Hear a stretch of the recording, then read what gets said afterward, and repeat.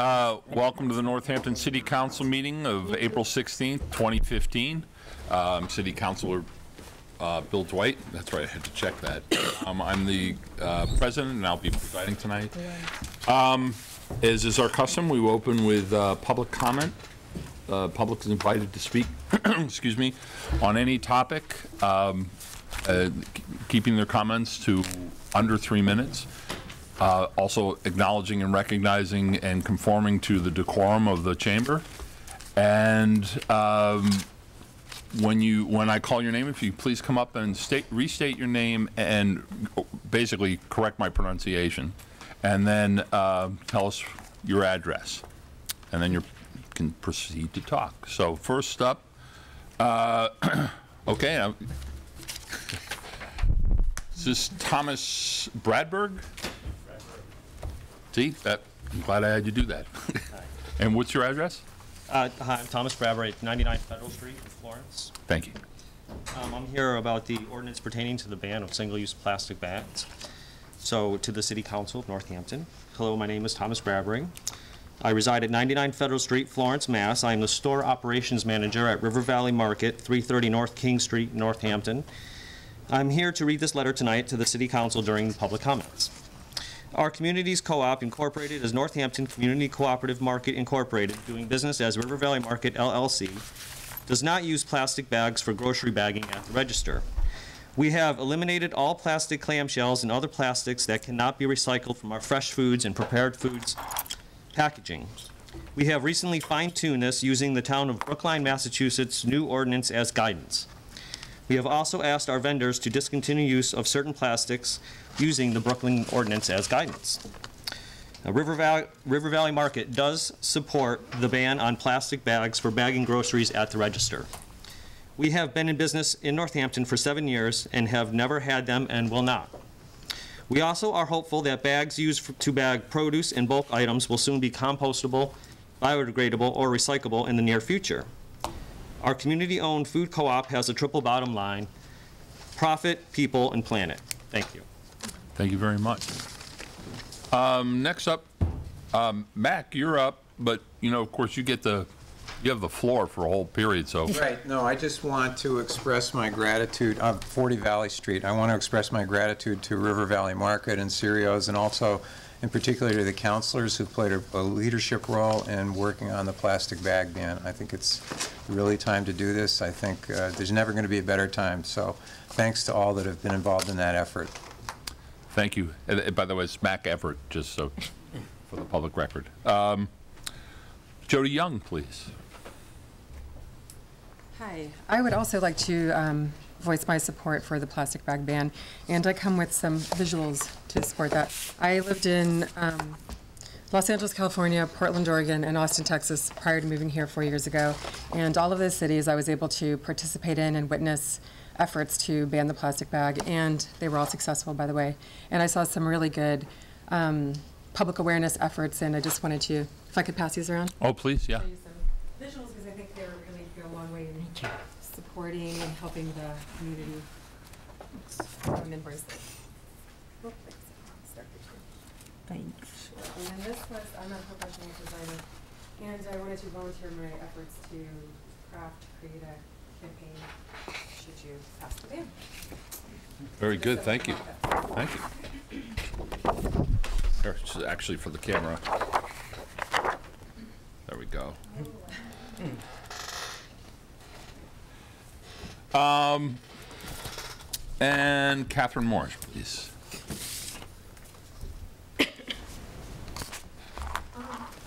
I'm just going to read a very brief letter. And- And Catherine, I'm sorry, can you um, state your address too? I'm oh, sorry. Catherine Marsh, 9 Prospect Heights, Northampton. Um, And it's about overuse of pesticides in my neighborhood, off of Jackson Street, up Jackson Street, right near the school. And I'll just read this briefly, I may cut some of it out.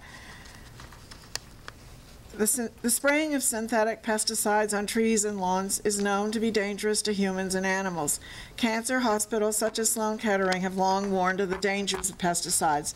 This exposure is cumulative and cause, can cause cancer, damage to neonatal development, endocrine disruptors, and possibly Parkinson's disease.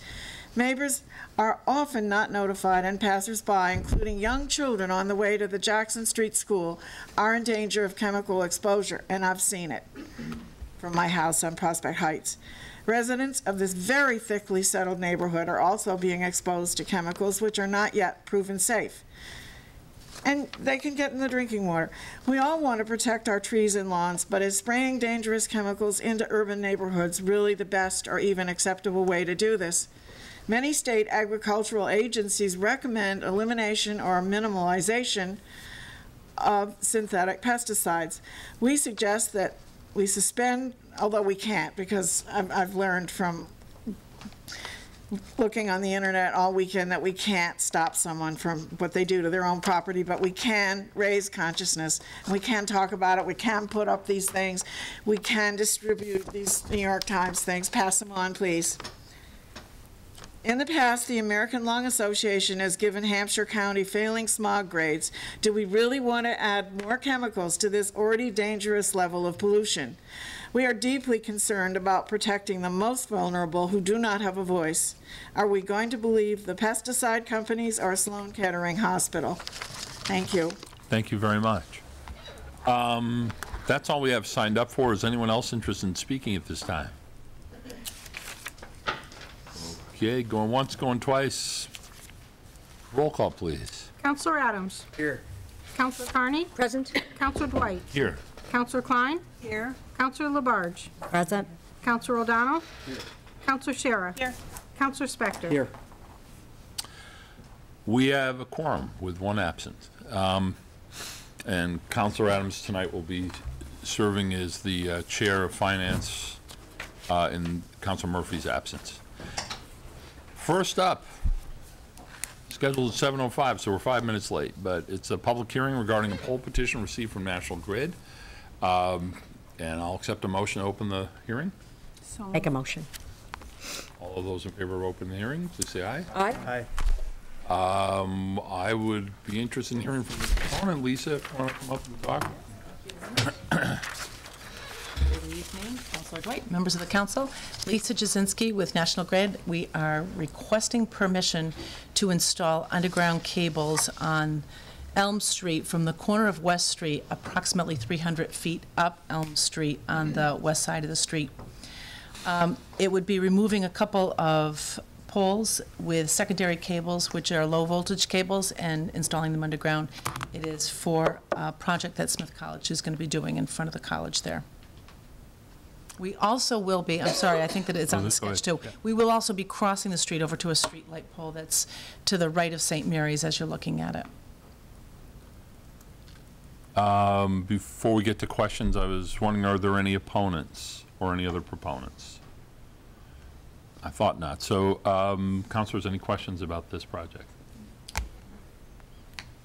I, I, I have a question about, uh, more generically about, I, I, and not relevant to this necessarily, but the, the running underground cables, of course, has also been, has been a debate around this region for quite some time. Um, The liability of poles, and it's always been appealing, the prospect of running it, but it's wires underground. Um, But it's always been considered to be cost prohibitive, among other things. I- Is this, is this an indication of a trend, or is this, as opposed to going across the street with a pole, or is this, uh, is this an experiment, or is this just? Well, it's not really an experiment, and it's certainly not a trend, but it is at the request of a customer who actually absorbs the cost of the work that's being done. So it's, you know, cost prohibitive, it would be, you know, I I can't even imagine, you know, the numbers, thinking about putting poles and wires underground, it all, if you're talking about all of them. I know that in a lot of areas, and a lot of developments, it's requested that it's all underground, and, and that's terrific. I think it's nice that it is that way, but to, um, to, you know, put all of our utilities underground in, in crowded streets as they are, sometimes is very difficult, along with the cost. Uh, Counselor Carn? Um, so you did say that this is for the low voltage cables? It is. There's secondary cables, they feed streetlights and a couple of traffic signals, which there will be, you know, And while they're at it, then my question is, do you know, since they'll already be digging, will they go ahead and run additional conduit for any future use for the high voltage? Uh, no, you know, we had actually petitioned the city some, some years ago, it was quite a few years ago, to actually install high voltage. And just around that corner and connect a couple of, of feeders is what we call them. They're, you know, just how they, they go out into the, you know, the neighborhoods to distribute the uh, energy. But um, it's determined that the way it's all set up now, there's no need for that anymore. Sometimes we, you know, when something goes out, we backfeed it with, you know, other, um, or other sources, and th- that no longer is deemed necessary, so they won't. Okay. And uh, one more, so the time frame. when do you expect this, this work would start? Well, it won't be until after graduation. I think the request is sometime after Memorial Day. Okay. Thank you. Sure. Counselor Labarge. Also, looking at the language that has been proposed by the Board of Public Works, they are recommending exactly what they have asked you to do, which is that they are asking you to make sure that you cross Elm Street with cross city-owned water, sewer, and drain mains, which are five to six feet deep at gas mains. Based on that information, they recommend that the handholds and the conduit be at least then three feet from the edge of the road. So if you didn't get that information, you wouldn't be able to do it, correct? Uh, Yeah, I actually have not seen that, and, and that's fine. That's something that, you know, we work out with the, you know, Board of Public Works. You know, I do know that there's going to be, there's a sidewalk um, along that way, and I believe it's, there's going to be a retaining wall of some sort. I don't know, and I'll have to address that with the Board of Public Works, because I don't know if that gets these handholds actually three feet off, so that will have to be worked out. Thank you. Any other questions, comments? I'll Accept the motion to close the hearing. Make a motion. Uh, All those in favor of closing the hearing, please say aye. Aye. Now I'll accept a motion for approval. Move approval? Uh, Any further discussion? All those in favor? Aye. Aye. Any opposed? Abstentions? Thank you, Lisa. Thank you. very Um, Now we come to the communications from the mayor. The mayor is here, prepared to communicate. Good evening, councilors. I actually have one um, uh, proclamation that I'd like to issue this evening, uh, and it actually um, directly affects uh, one of our city departments. Um, It is uh, entitled Public Safety Telecommunicators Week, April 13th through the 19th of 2015. Whereas emergencies can occur at any time, which require the prompt response of police officers, firefighters, and paramedics in order to protect life and preserve property.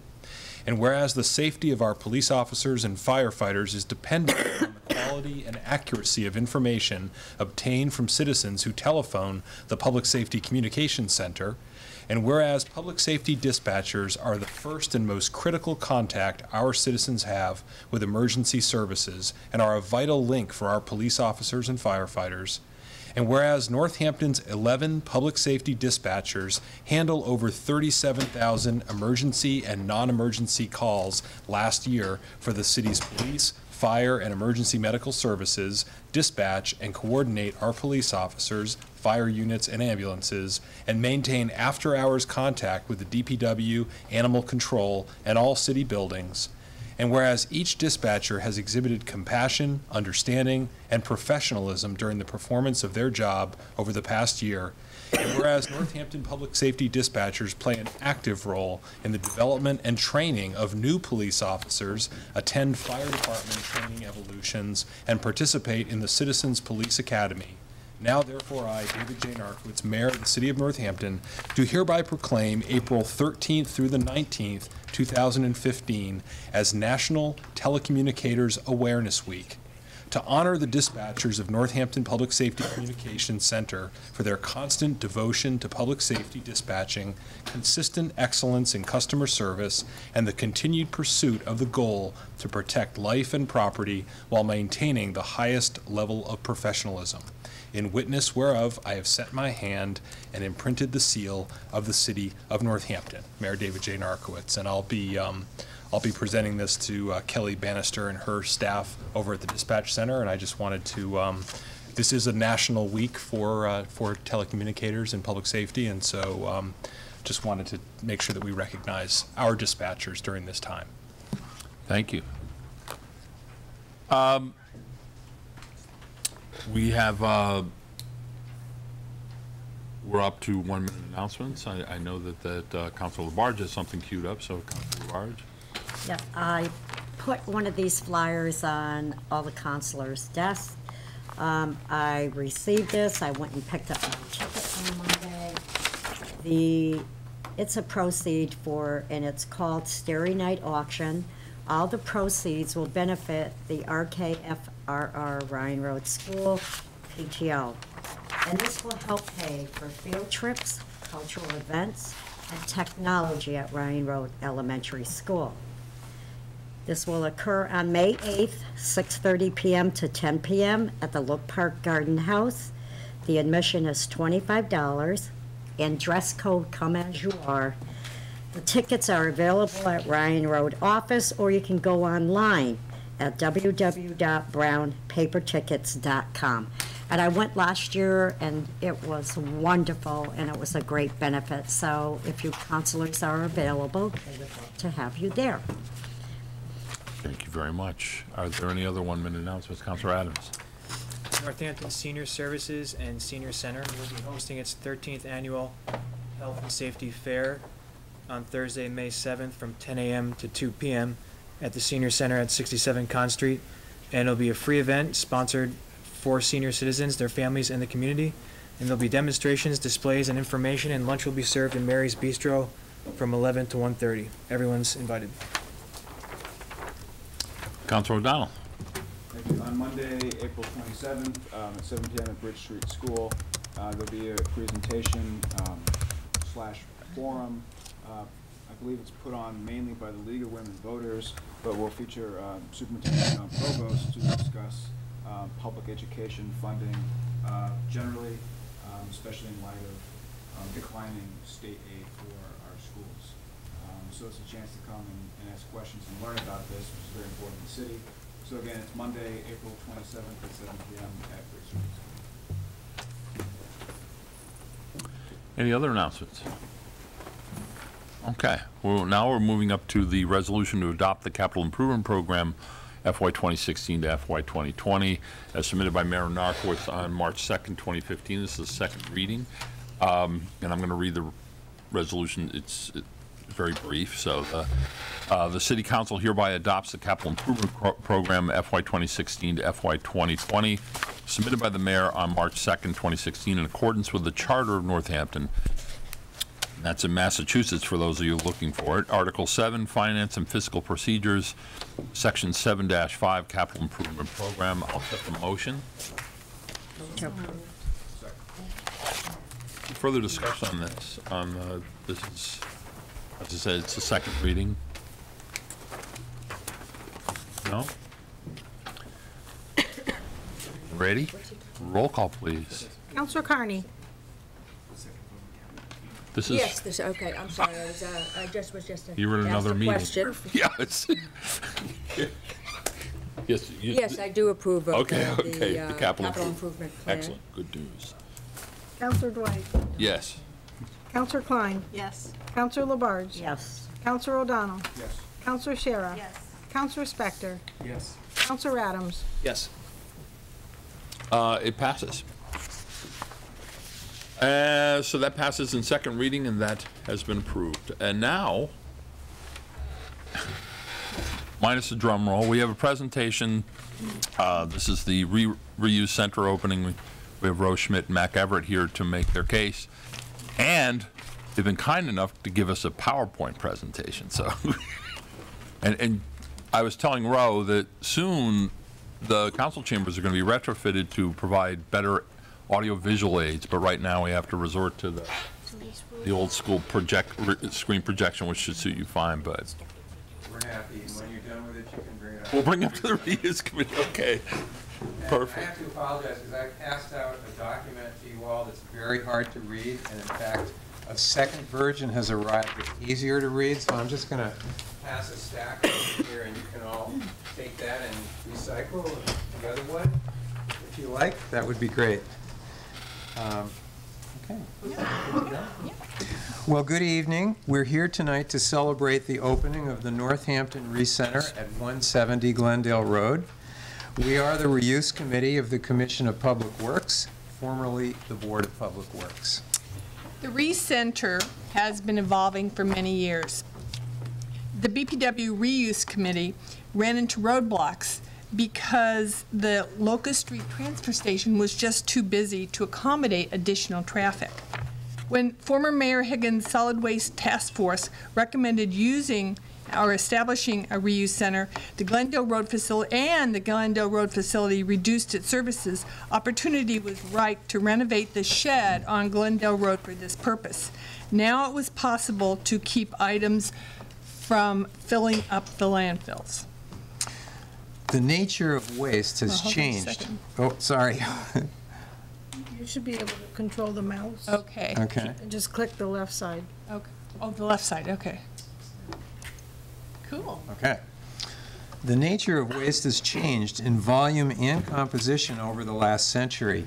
Land values have increased, negative externalities of landfills such as odor have made waste a political and social challenge. Modifications of the amount of waste res- uh, responds to these waste challenges. Zero waste is a concept to incorporate these new values. The reuse committee's goal is zero waste. This concept is hierarchical, with reuse of materials trumping recycling. The intent is to keep as much material out of our landfill as possible. So you want to refu- refuse what you don't need, reuse anything you can, reduce what you do need, recycle what you cannot refuse, reuse, or reduce, and rot the rest for compost. Why aim for zero? Excess waste results in unsustainable resource mining, air and water pollution, increased energy consumption, public health concerns, and financial burden on local governments. Reuse items can be shared. The reuse, the Northampton's Reuse Committee has been holding events over the last 15 to 20 years. Marianne, you mentioned that one when we were talking earlier. But the committee felt that more could be done on a regular basis to keep items out of the landfill. These photos show the bulky rigid plastic swap and collection from 2012 and the tag sale from 2013. And this set of photos show the kids' stuff and art materials event in 2013 and the holiday toy swap in 2013 as well. And we're not completely abandoning reuse events. We've already scheduled the events for this year. Our first one will be the opening of the Reuse Center. The Reuse Committee was able to recruit a strong team of professional and seat-of-the-pants volunteers.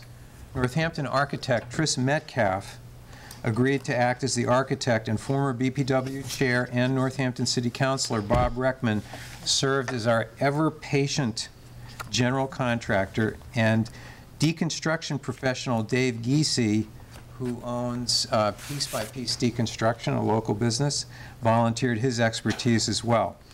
Electrician Tina Shea, carpenter Alex Gieslin, another former counselor, Central Services Warren Jones, and Jim Mayo, uh, excuse me, were also instrumental. The Reuse Committee from the Public Works Commission put together an industrious group of volunteers who gave up their Wednesdays and Saturdays to convert an old shed on Glendale Road. Alex Gieslin took a few panels that needed special work back to his shop and then returned them shipshape. He also hung the front entry drawer. After some trenching to get water moving away from the building, workers build the form for a concrete sill. This was a really big project. Reuse committee members worked second jobs as reuse center carpenters. Shelves and usable space emerged as Diana Riddle, Mac Everett, standing right here, Peter Rackelbush, Alan Calhoun, David Shear, John Sass, and others put saw and screw gun to work. What else can a reuse committee do but reuse as many items as possible? Screws, doors, wood, and doorknobs were reused whenever possible, and salvaged paint from the Holyoke DPW paint project was used. Some new wood, paint, and concrete was purchased. Jerry Devine of Devine Overhead Doors proclaimed that the existing overhead door was still usable, and after volunteers refurbished the panels, he performed a professional installation. The reuse committee, with the help of a very supportive community, has transformed this worn-out shed into A newly refurbished, or refurbished, functional community space. The um, guiding principles for the uh, reuse group is based on zero waste. Zero waste means we will work to be a waste-free in- operation and will accept only items that are easily reusable and can be dismantled into recyclable parts if necessary. Zero cost means we won't accept items we'll have to pay to dispose of if no one wants them. If disposal fees apply to risky items, the fees must be paid before an item is accepted.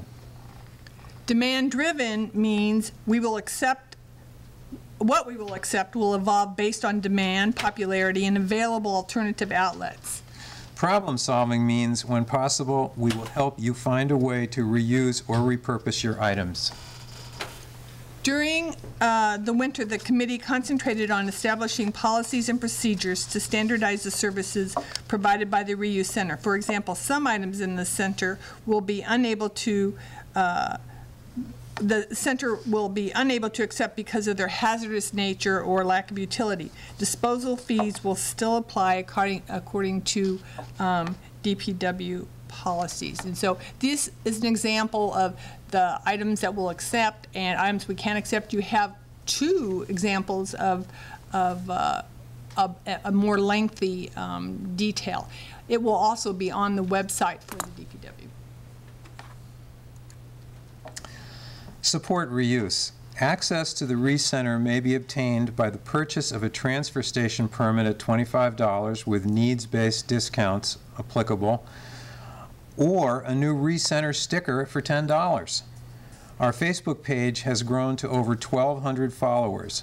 Once the reuse center is up and running, the reuse committee hopes to establish repair workshops and art workshops and a variety of other repurposing activities. In November 2014, our volunteers celebrated our progress. We had a working garage door, an attractive entry, and a roughed-out interior space. But we're still looking for more volunteers, if you know anybody that's interested. So, do you have have any questions? Questions, uh, Counselor Klein? Um, You mentioned that there are certain things that you don't accept. I'm wondering if you have places that you can refer people to that do accept some of those things. Yeah, we, we're working to establish a network of end users. Those would be other organizations who might be interested in some of the materials we collect. For example, today I was on the phone with the Survival Center, and they said they would love to have any surplus children's books that we have. So we now know if somebody brings in a huge number of children's books, that we have someone else that will take them if our customers don't take all of them. So those, those people we refer to as end users, and there's a number of organizations around the valley that we're inviting to, to let us know what kinds of things that they are looking for, whether it's durable medical supplies or stuff for kids or whatever. We are also going to have a, a big, a gigantic bulletin board out there, which will be divided into needs and leads. So if someone has a particular need, they're looking for something, they can post it out there. Likewise, if someone has something that they would like to give away, especially something big that we don't necessarily want them to bring to the center, like let's say somebody has a piano, we don't want them to bring it to us because we only have 800 square feet of space out there, but we can put a note up that says, um, so-and-so has a piano, if you're looking for that, call that person directly, and hopefully that can happen with us facilitating, but not actually dealing with, with the item. So those are two ways, yeah. Counselor Klein? Thank you for all the work you've done on this. Um, On your Facebook page, do you expect that you might also be using that as a way, a kind of a virtual clearinghouse for letting people know items such as the piano or things? Yeah, we're, we're thinking about ways that we can do that. I know a lot of people would like us to do something electronic that way, to, to have an online database. Uh, It's going to be a bit of a challenge because essentially it's going to be um, a first come, first serve operation. So people are interested in something, you know, and, and the other thing, of course, is it's a bit out of town, and some people are a little concerned about that, but our, we're, we're delighted to have the space. Ned has been fantastic in terms of helping us get it renovated, and we hope it's the start of a lot of good things. I mean, right now, we're really, uh, the initial phase is this swap shop, this zero-waste swap shop, but we're really hoping that we can go farther with it and have repair clinics and um, all- around the country, there's a lot of uh, sh- tool sharing and uh, make it and take it workshops, all kinds of things related to repurposing. And we're hoping that uh, as the community learns about us and, and shows interest, that we can do those kinds of things as well. But we're working on the, yeah, the electronic piece too. And if I could just add to that, Susan Wade, our recycling coordinator, um, is working really hard to give Facebook a presence, but we want quick turnover of the items. So it may not be the best place to do it, but it's creating, um, I just, I mean, Jessica, I think, started the Facebook page. It sounds like you have over 12, you have 12, over almost 1,300. uh, Yeah, likes. but it was like several years ago that we started it, but it's only recently that it's uh, really been a, a a communication Yeah. vehicle. I think one of the other points that we've been trying to get across to people is that we realize we're, we've got a learning curve to do here. We have to figure out what kind of stuff is the stuff that's really desirable, that people really want, and then we can take lots of that kind of stuff. We know also that there's going to be stuff that nobody wants. And um, we're, you know, we have a special area for the arts, so we're encouraging artists to come out and help us come up with really creative ways to reuse stuff. If you've gone to our Facebook page, there's lots of great examples of that. So, um, but, but there's going to be a, a learning process for us, and, and, uh, and the kinds of stuff that we can accept will change over time depending on what the demand is. So we ask people to be patient with us as we go through that learning process, and, uh, Well, just, uh, I just want to point up one other example. For example, as I look at that right now, and this was just posted yesterday, a local business is willing to give, has approximately 25 um, used paper towel and soap dispensers. Right. So that might be something even someone would want to use for household use or swap. Yeah, that could be, and also, there's actually a new, a New England regional website for businesses who have stuff like that to give away for free. So that would be another end user that we might, if, if we ended up with those, and suddenly we had an excess and nobody wanted that, we know that we could post them out there and make them available to a wider audience. It's great. Councilor Spector and then Councilor Carney. Just one, have you, do do you know about Northampton Freecycle, which is online? Yeah, and we're, we're encouraging people to use Freecycle. Because I was thinking you could also post, if you got Yeah. the piano, for example. Right. You could Right. post that, and, um, Yeah, and Craigslist also has a free area, and also people, uh, there was a, a situation in my neighborhood recently where someone was gonna give away a bedroom set. And that's really too big for us to take out there, but I posted it on my neighborhood listserv, and it was gone within 24 hours to a neighbor. So we're encouraging people, again, don't, don't think that it all has to happen out at our site. It can happen in these other decentralized ways as well. Any, There's al- any reuse is good as far as we're concerned. There's a Facebook page called Buy Nothing Northampton, Yeah. Easthampton as Right. well, same thing. Right. Uh, Councilor Labarge. I want to thank you all. It's been a long time. I do know way back, about 15 years ago, we worked with Karen Bequillian very closely and the neighbors on Glendale Road. And at that point, they had made it the uh, Dunkin' Donuts meetings that we had, which we all laughed about that name. And it was brought up many times of people coming in and exchanging, but we didn't have the area to do that. I, I, I'm so happy this is happening, and I thank you all for working tirelessly, and I think it will be a great success. My question is, I think you need to repeat the date again, because there is some confusion on that. Yes, we were made aware that there was an article that came out that said it was opening this Saturday, and it's Saturday, the 25th. And the the festivities will start at 9 o'clock that morning. Thank you. So, thanks for reminding me, yeah. Councilor Klein. I also want to just say thank you so much. I think this is incredible. Um, It's such an incredible resource for the city. And it's also really inspirational to see all of these volunteers that have come together and donated time and um, expertise, so that's really exciting. And I just wanted to ask one more thing.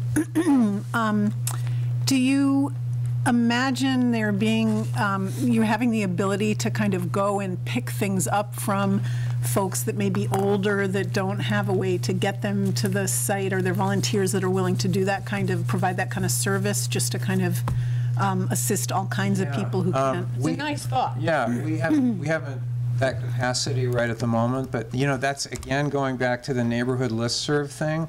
We're hoping that people, that there will be people in, in each neighborhood that are really excited about what we're doing, and that they might be able to, if, to car, to offer carpooling possibilities if there are people that don't have cars, or like you say, if they're aware of something we have that a neighbor might need, and they're willing to help transport that, that would be great. Um, You know, again, this depends a lot on the, on the kind of response we get in terms of our volunteer network. We're really looking for volunteers for helping to run the center on, on the Saturday mornings, but we're also looking for people like that, people who might be willing to do some transportation. Or we're also looking, if you know people that like to tinker, we've already roped in Alex Giesland, and he's very good at this. Um, But people who like to fix things, we're ta, we're taking in stuff, right now, we're taking in stuff that is, is in working condition. We'd like to be able to take in stuff that needs light repairs, and that we can send to a woodworker or um, someone that likes to work on appliances or whatever. So we're really on the lookout for those sorts of people, and if you're aware of any of them in your constituencies, please tell them to get in touch with us. Uh, Councilor Sciarra and then Councilor Labarge. Um, I'm beyond excited, so thank you so much for this. Um, so the, the intake guidelines that you gave us, are those on the DPW website? Did you They say? are. Yeah, I- Not yet, but they're, co- they're gonna go up? Okay, great. I feel like I should be able to figure this out, but I'm failing at it. What does BB stand for on here? bulletin board. So if you see that, that means it's an item, um, for example, I'm just, I'm just looking down here, and log splitter is one. So a log splitter is something that we wouldn't take out there, but we would put it on our bulletin board and try to facilitate the, the movement of it to someone that was looking for We're it. also calling it the needs and leads board. Yeah. So Yeah. somebody might need Yeah. something, somebody might have a lead for something, Right. so. And, and some of that's driven just by the size of things. Yeah. And is the PowerPoint presentation that you showed us, is that gonna be on the site as well? Am- I mean, I've just, you know, I think I and many people have been trying to promote it every way possible, so Yeah. it would be nice for people to be able to see the evolution of it. Um, And one last question, did you say what the hours are? The In hours, general? it's, it's going to be open from 8 o'clock until 11:30 on Saturdays. And then the last half hour, it's closed for us to clean up. Um, That facility is also open on Wednesday mornings. At this point, we're, we're not going to be open Wednesdays, but again, if we get an an upswelling of volunteers, and then there's a possibility we could expand to being open that day as well. But for now, it's Saturdays from 8 to 11:30. Yeah. Councilor Labarge. Yes, can they get the reuse sticker there? Yes, it's, it's both, it's ten dollars for just the reuse sticker, you don't, unless you already have a transfer station sticker. You can either get it at the DPW where you can get a transfer station, or at the Glendale Road. Yeah, 'cause some people ask me about that. Yeah, yeah. Okay. Any other questions? No? I just, uh, how did, you know, I think it's kind of relevant to explain how you guys got funded and subsidized, how you sustain yourselves.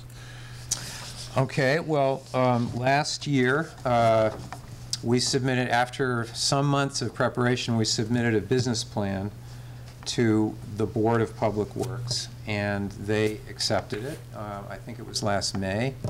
And they agreed to let us use the space, and they also funded us for $10,000, which has gone into the the renovations. Um, and then also, the council voted last year to let us have one of those funds, a small, I can't remember what the term is for it. uh, gift fund of sorts of things. Yeah, so that, you know, that's, so that we are able to accept small, small donations. And we haven't done too much of that, but we will be accepting small donations out there because we have ongoing costs like publicity and utilities and all the rest of it. So um, those, the- and, and uh, that's, am I forgetting anything as far No, as? but I funding will goes? say that we haven't spent all of our line item yet. Right, We're- right. We're Everybody's under worked budget, so yeah. hard on this and gotten donated uh, items. So I think we've only bought wood and uh, some, very many stuff, what?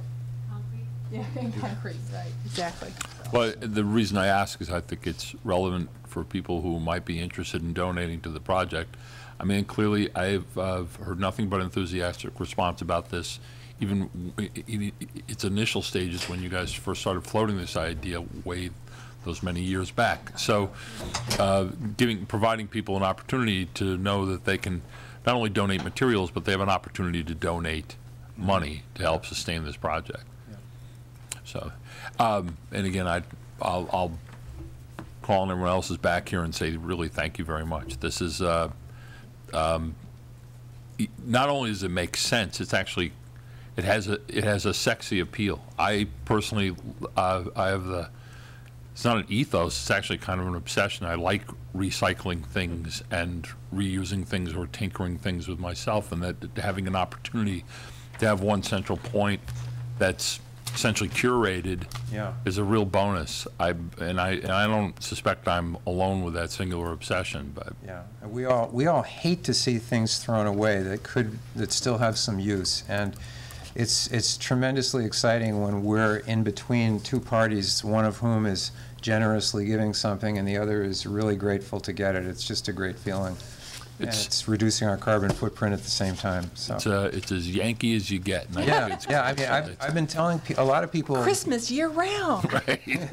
A lot of people don't realize that our solid waste in Northampton now is getting shipped to upstate New York, almost 300 miles away. And so this is, anything we can do to cut down our carbon footprint in regards to that, I think is really good. Well, that- and that was after the closing of the landfill, the discussion about reducing our waste production, the fact that we're no longer um, controlling our own waste and its, and whatever possible side effects it would have, there was an opportunity to at least, at the very least, reduce what we contribute to the waste stream, and I think this is, this is an excellent process, so. So thank you very much again. Thank you for Thank you for, Nice, nice PowerPoint, thanks. Oh, there's David. So, now we're back into the, the meat of the meeting. Um, Up next, we actually have a lot of licenses and petitions. These all come due the same time every year. Um, I suspect the inclination is going to be want to take them as, uh, as a group. I would ask that you separate out, at least on the first, on section A, um, feeding tube records, if you would, because I have a conflict there, so I'd need to recuse myself on that one, but if we could, s- if, if you're prepared to. Rest as a group. So if you want to, I'll accept a motion to accept them, um, and actually allow me to read the, um, this is the annual secondhand dealer's license renewal, and this is for the Cancer Connection of 375 South Street, uh, Jack Spire Antiques of 416 North Main uh, Street in Leeds, uh, Norma Menard of 25 Garfield Avenue, uh, the Family Jewels of 56 Green Street, Back Alley Antiques and Collectibles at, of uh, 238 Bridge Street, Antiques Corner of 5 Market Street, Stuart Solomon at 28 North Maple Street, Ryan Jewelers, 14 Strong Avenue, Feeding Tube Records of 221 Pine Street, Wild Mutation Records at 52 Main Street in Florence, and the Urban Exchange of 233 Main Street. So I'll accept So I'll move all of them as a group except for feeding tube records. Yes, I second that. There's a second, okay. Any discussions on these petitions? And we have, we have all the, the applications and licenses, and you can see that, that they've been, um, they're up to date on their taxes and, but any other further discussion on these? Okay, Um, Can we do this by a voice vote, or is, I think we can do this by a voice vote, by God. That's by voice. All right, I'll, I'll, uh, all those in favor of those petitioners being granted the license, please say aye. Aye. Any opposed? And any abstentions? Okay, now I'll accept uh, that they, they pass, and I'll accept the motion for uh, defeating tube records. So moved. Second. Okay. Uh, Any discussion on that item? Um, All those in favor, please say aye. Aye. Aye. Um, I'm, I'm abstaining. And any opposed? Okay. Now we can, back. Can I uh, just interrupt for one second? If you have any leftovers in those sheets, I've been instructed to reuse them. There you go. Thank you. That would have been awkward. Okay. Uh, Next up, we have the annual junk dealer's license renewal, and this is uh, for Norman Menard of uh, 25 Garfield Avenue and Richard and Sharon Huntley of 254 Easthampton Road. And I'll accept the motion. Take as a group. Okay, and that's been moved. Is that second? Is there a second? Okay. Any discussion on these? All those in favor, please say aye. Aye. Any opposed? Any abstentions? That, those licenses are approved. Next, next, of course, is the, the annual bowling license renewal. Um, We have the Northampton Bowl of 525 Pleasant Street. Um, They're down here twice. One's,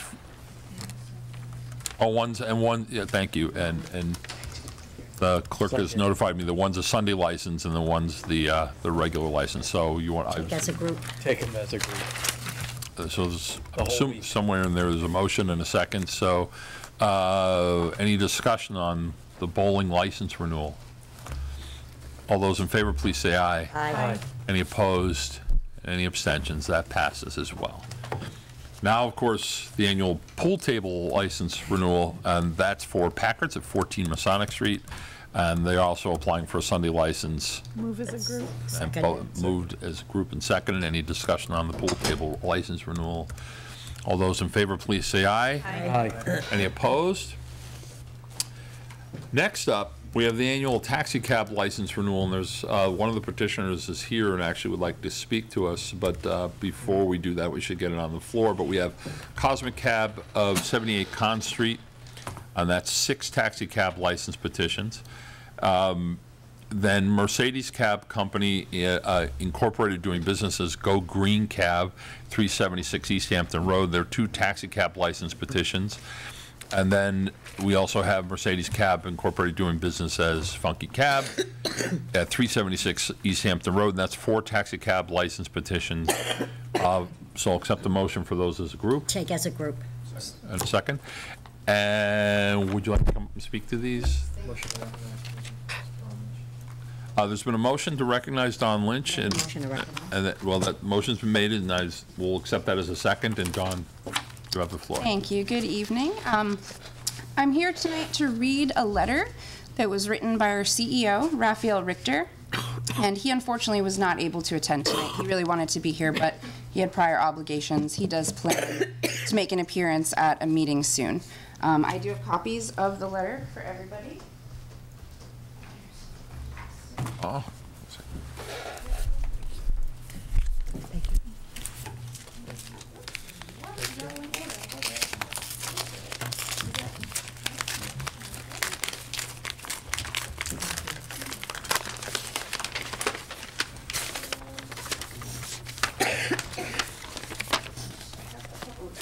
Okay, we one for the public record, and, yeah, thank you.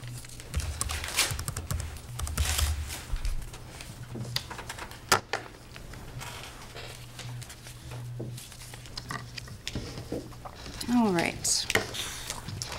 Dear counselors, as you may have read in the newspaper recently, Mercedes Cab Company has purchased Go Green Transportation, formerly The Taxi and Green Cab. In conjunction with Funky Cab, another entity of Mercedes Cab, we're working hard to expand our service in order to provide exceptional transportation services to the community of Northampton.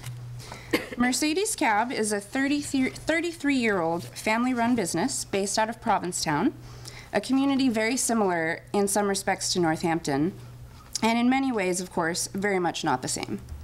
We operate throughout Cape Cod, providing over 100,000 trips per year to residents and visitors. And we're very committed to the communities we serve, to the many drivers we contract, and to the dispatchers and mechanics that work in our operations.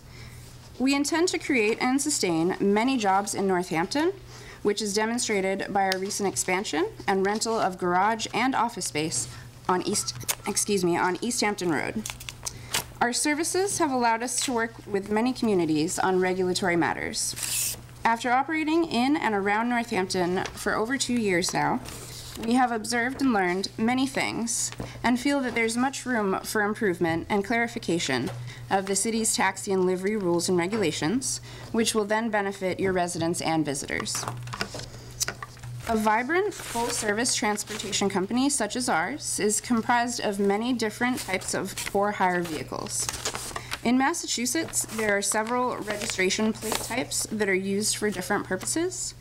And it's very common for transportation companies, uh, for a transportation company to market itself as a taxi or shuttle service and have different types of vehicle registrations to be included and used for different for-hire purposes.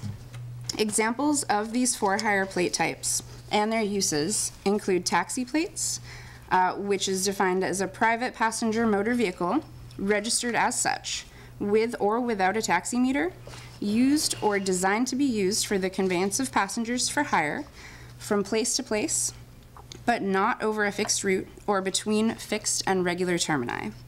This type of vehicle may be requested by call to a dispatcher or hailed on a public roadway uh, for securing a ride. And it may also pick up passengers in areas that are designated for taxis, uh, meaning cab stands, basically. Livery plates uh, are defined as a private passenger motor vehicle, including but not limited to limousines, uh, registered as such, the designed seating capacity of which does not exceed 16 people, including the driver, for hire or transport rented by means of a telephone or smartphone request to the registered place of business of the owner, or a contract arranged in advance of the time for a designated pickup.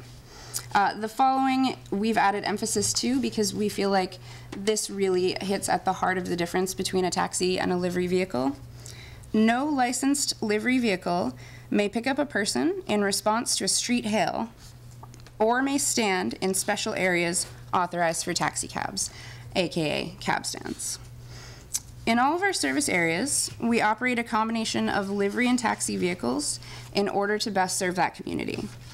The reason to not just have one type of registration is that taxi plates can cost about three to five times more to insure than livery plates. Uh, but they still provide the exact same level and type of liability protection. Therefore, in communities that don't have many street hail or flag fares, such as Northampton, which uh, we find to be about 95% called in fares, we operate more livery vehicles in order to provide a better service uh, for the community by having more for hire vehicles on the road. Additionally, we plan to make major reinvestments in our fleet by acquiring later model, later model vehicles, and it's much easier to lease or purchase newer equipment for use as livery vehicles, as the cost to insure it is much lower. It's clear that the city's rules and regulations, as well as regulators, must take a closer look at the laws governing taxi and livery services in the city. And this is the primary reason for our letter today. Please consider the following. First, City Code 316-21 21, requiring meters to be used by all taxi companies, is being flagrantly ignored by all parties. It is our opinion that meters would be a great service to the city, as they would reduce fares slightly for shorter trips in the downtown area, while providing a more fair rate for passengers in the outlying parts of the city.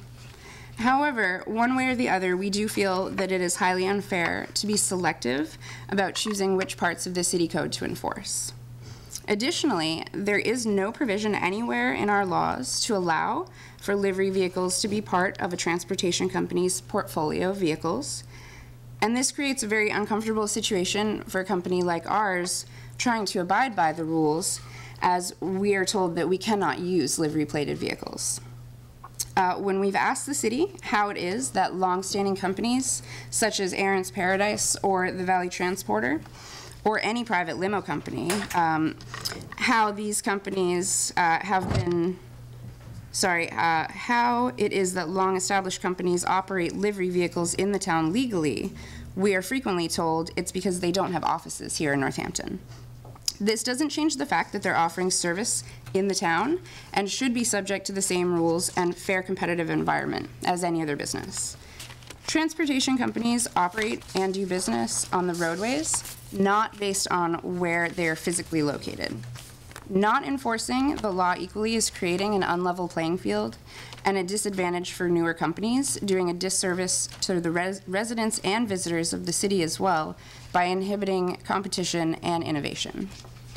As you know, transportation companies that provide taxi and livery services to a community represent a public-private partnership. Transportation companies should happily carry people of all socioeconomic classes and backgrounds without discrimination or bias, which represents a vital part of any city's transportation network. Our goal is to be a vibrant part of the Northampton community and provide the best transportation services that the city has ever had. But we ask that you assist all transportation companies by clarifying and updating the rules and regulations. We look forward to being a part of any working groups or forums on the topic that lead up to any potential changes. Thank you very much for your time and consideration. Respectfully, Raphael Richter.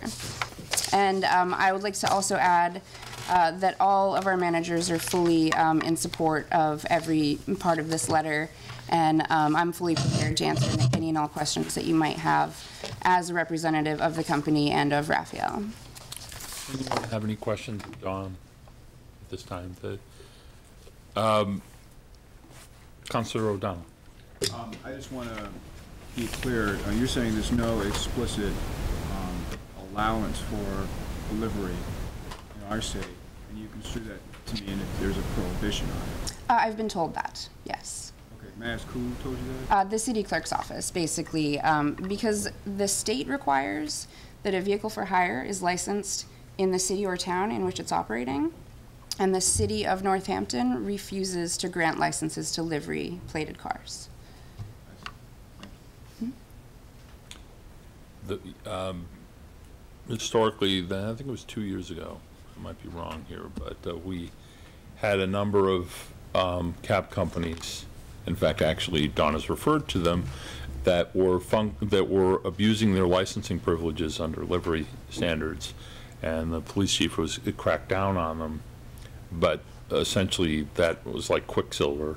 I think the, one of the things that Don's referring to is they just set up shop somewhere else and still operate here in the, in, in town. Both taxi and livery plated vehicles, uh, right. I will add. Taxi, taxi tags too. Can I just ask, what, uh, what did that abuse entail? What was that? was Um, I think uh, that, as Don pr- described it, there are limitations to what livery vehicles can do. They were functioning as cabs. Um, and, but using their livery tags, which, and, and livery tags don't have the, the same strict criteria in some respects. And so it was just this kind of circumventing, and, and as Don points out, it is, it's cheaper to insure. Why the insurance companies make that distinction, I'm not particularly sure, but the, the fact remains is that that, you know, there were some cute cost-cutting corners uh, that were made that uh, the police chief took issue with.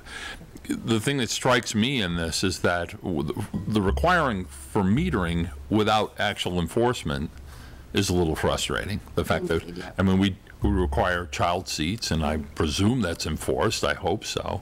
But if, if, if it's going to be a requirement, then it seems to me that there, there certainly should be uniformity in, in enforcement of that. Agreed.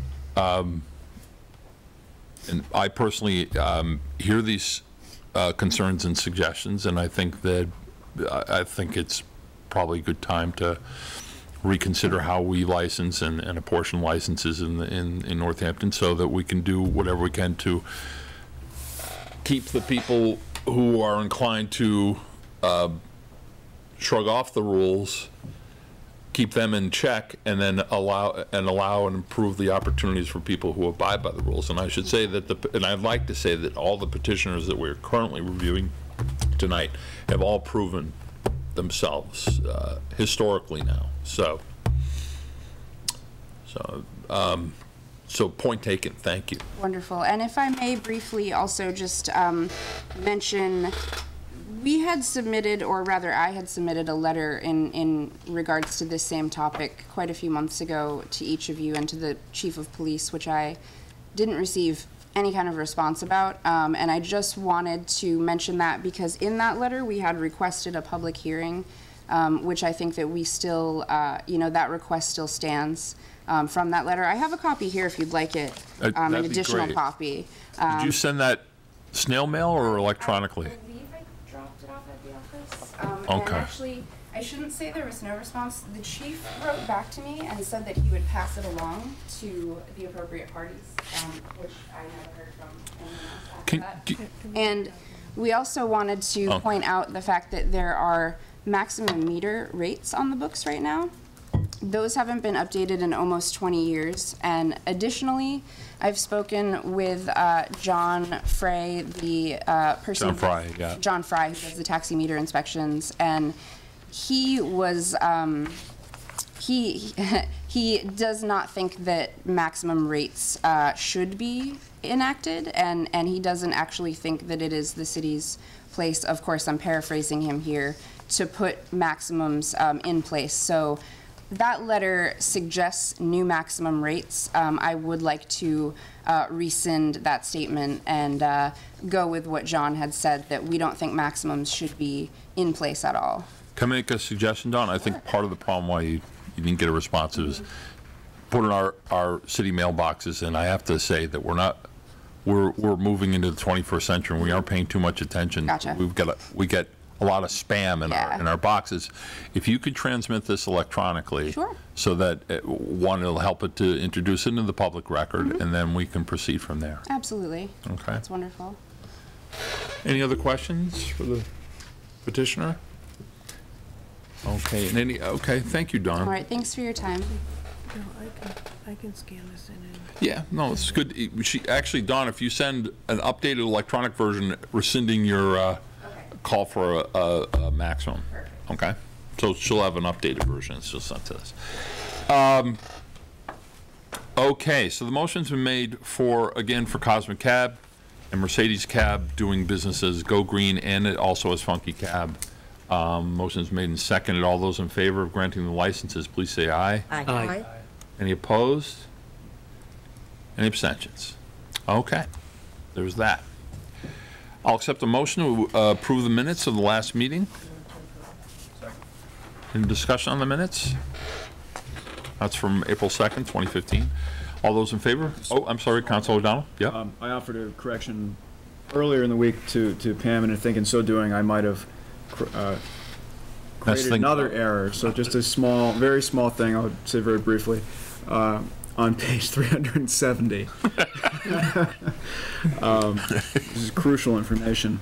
Um, For items uh, 15.355 uh, about snow removal, there was a friendly amendment ab- about highway business, and I believe Councilor Carney offered it, um, not Councilor uh, Klein. So I'll email you that information, but I, if that's not clear, sounds like it probably wasn't, but. So, Councilor Klein was here. She's paste, so whatever you sent me, that's what I put in. Well, I, I may be to blame, but I'm just trying to offer the correction, yeah. So the, the recommended uh, correction is to reflect that Councilor Carney was the maker of the motion as opposed to Councilor Klein. Correct? So that, uh, uh, I do recall making that Yes. motion to uh, include It was so long Highway ago. Business District in the, uh, Is this, is this the kind of detail that we ought to have in the minutes? Yes. Okay. yes, No, it no, should that's show who important, made the actually, the maker of the motion, and you should own that, yes. Great, thank you. So all the angry letters can be rechanneled and sent to Councilor Klein. Um, all right, as amended, um, or, uh, yeah, as corrected. All those in favor, please say aye. Aye. Any opposed? Any abstentions? Okay, we have no reports uh, from committees, appointments, and elections. We have, um, we do have appointments and reappointments to committees. I committees. would say for the first, for the tree commission, that we take those as a group. I second. Yes. Are the motions for the tree, the newly established tree committee, Public Shade Tree Commission, and I'll read the names and butcher their names. Uh, Melon Castriata of uh, 79 West Street, Todd Ford of 78 Fern Street, Jay Gerard of 158 Ryan Road, Lily Lombard, 39 Monroe Street, Robert Postal, 44 Washington Avenue, Andrew Smith of 10 Myrtle Street, and Jennifer Werner uh, at 16 Winthrop Street. Um, So the motion's been made, and seconded. Anyone want to speak to these? Yes, it's, it's been, we've got that point. Now, we want to speak to the, about the applicants. The, the- they come with positive recommendations from the Committee on Rules, Orders, Appointments, and Ordinances, so. Um, And I know that they're not, these guys are raring to get to work. We're already going to refer stuff to them right out of the gate. Um, And they're, they're really, and this is the season for it, so it's very appropriate that by Arbor Day that we have, uh, arbor specialist ready on, on cue. Okay. Um, Actually, I'm going to have a roll call on this, so, uh, roll call, please.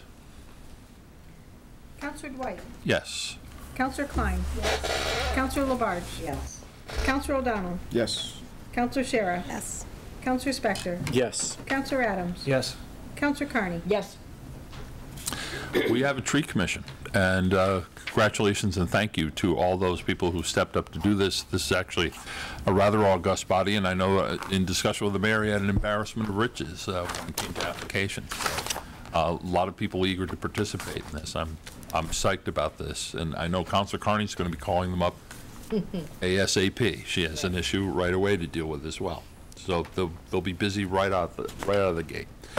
Um, Next up, we have the, for the North- uh, blah, blah, blah, Northampton Housing Authority, Jeffrey Jones, 76 Woods Road, term beginning uh, March 2015, expiring uh, June 2018. This is a reappointment. And move approval. Second it. Motion's been made and seconded. Any discussion on this reappointment? Well, Just to note that um, Jeff Jones has also accepted the chair of the Housing Authority, so it's appropriate that we Well- Since he's the chair, we accepted that, then it seems very appropriate to vote him in, I think. All those in favor, please say aye. Aye. Any opposed? Okay. Uh, Next up is the Board of Health. We have Donna uh, Donna Saloom of 83 Pomeroy Terrace. Uh, This is a March 15, uh, 2015 to June 2018 term for reappointment. Move to approve. Second's been made and seconded. Any discussion on this appointment? All those in favor, please say aye. Aye. Any opposed? Any abstentions? Okay. Donna's in again. Uh, The Agricultural Commission reappointments, we have uh, John Bobola? Okay. Bobala. Bobala. Damn. I always, I always get the wrong syllable and sort of, okay, and Earl uh, and Parsons of 137 Mill uh, Valley Road. Uh, were made to move them as a group. Their terms start March 2015, which we've s- seen the back of, and expire June 2018. Any discussion on the uh, appointments? All those in favor, please say aye. Aye. Any opposed? And any abstentions? Okay. And then last up on this is the Conservation Commission. We have Tricia McGovern of 53 Avis Circle in Florence, term starting this month uh, and then expiring June 2018. Move to approve. Second. Motion's been made and seconded. Any discussion? All those in favor, please say aye. Aye. Opposed? Abstentions? All right, Tricia McGovern's now on the conscom. Uh, Now we come to appointments to the Northampton Housing Authority, and this is to, for referral to uh, Rules, Ordinance, Appointments, and Orders, ordinances, and this is uh, Michael Roy of 243 Park Hill Road, Alex Akers, or Ackers, of 32 Washington Place, um, and Jim Rice of 108 uh, Coles Meadow Road, and these are terms starting this month and expiring June 2018. Motion's been made to refer and seconded. Any discussion on the referral? All those in favor, please say aye. Aye. Aye. Any opposed? Any abstentions? Okay. Wow, that's, that's about 220 pages of the uh, agenda so far we just chewed through.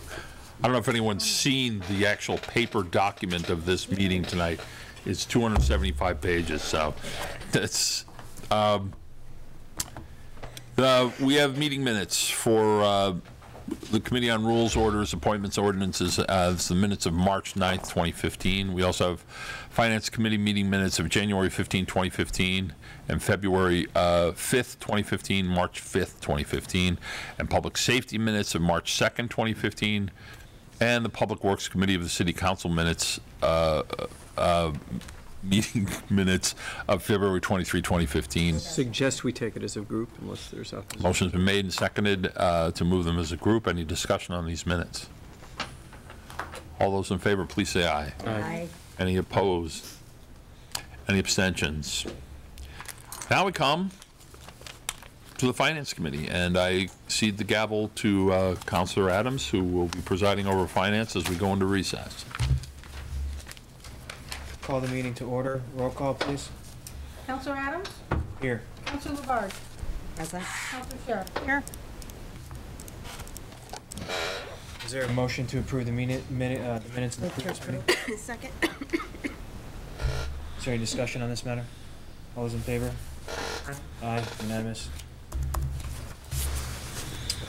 We'll move to agenda item number four, which are, which is financial order, uh, fifteen point three ninety-six, water and sewer, sewer rates for FY twenty sixteen revised.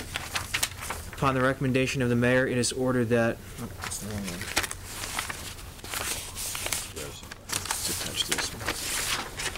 The following water and sewer rates be in effect for fiscal year 2016, July 1st, 2015 to June 30th, 2016. Water, $5.58 per cubic, per 100 cubic feet, and sewer, $6.08 per 100 cubic feet. Mr. Mayor, would you like to speak to these? Uh, Certainly. And um, I will provide you initially with a memo um, based on my original recommendation to you um, uh, that I submitted to the council originally. Um, And there's, there was a memo uh, that actually from Mr. Huntley uh, to me on March 30th. Um, And then obviously I submitted a revised memo on April 10th, uh, 2015. Um, So effectively, this, um, this revised recommendation would hold the rates uh, where they are uh, currently uh, for another year.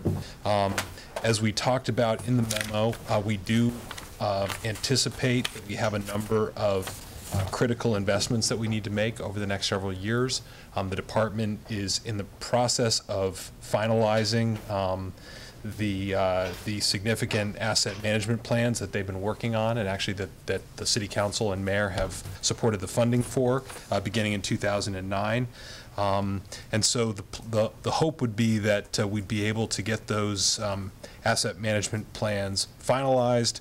We'd have an opportunity to really present them to the public, so the public could understand um, the issues that we will need to deal with, particularly um, significantly at the uh, wastewater treatment plant on Hockanum Road, um, which, uh, as the memo points out, was, you know, built in the 70s. There've been some uh, upgrades done to it, but it, it does require some significant upgrades that we'll need to be able to um, uh, schedule and begin uh, planning our debt schedules for. Um, There's also a number of uh, water-related projects, um, including one, uh, uh, a dam, some dam projects that need, uh, need work um, a few years off into the future as well.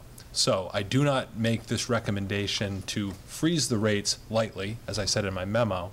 But at the same token, as I pointed out in the, in the memo, um, you know, this is the first time that uh, we're operating under this new system of the city council and the mayor setting the rates. Um, I think based on the general laws since 1921, um, uh, that, uh, that, that- the, um, the other system went into effect.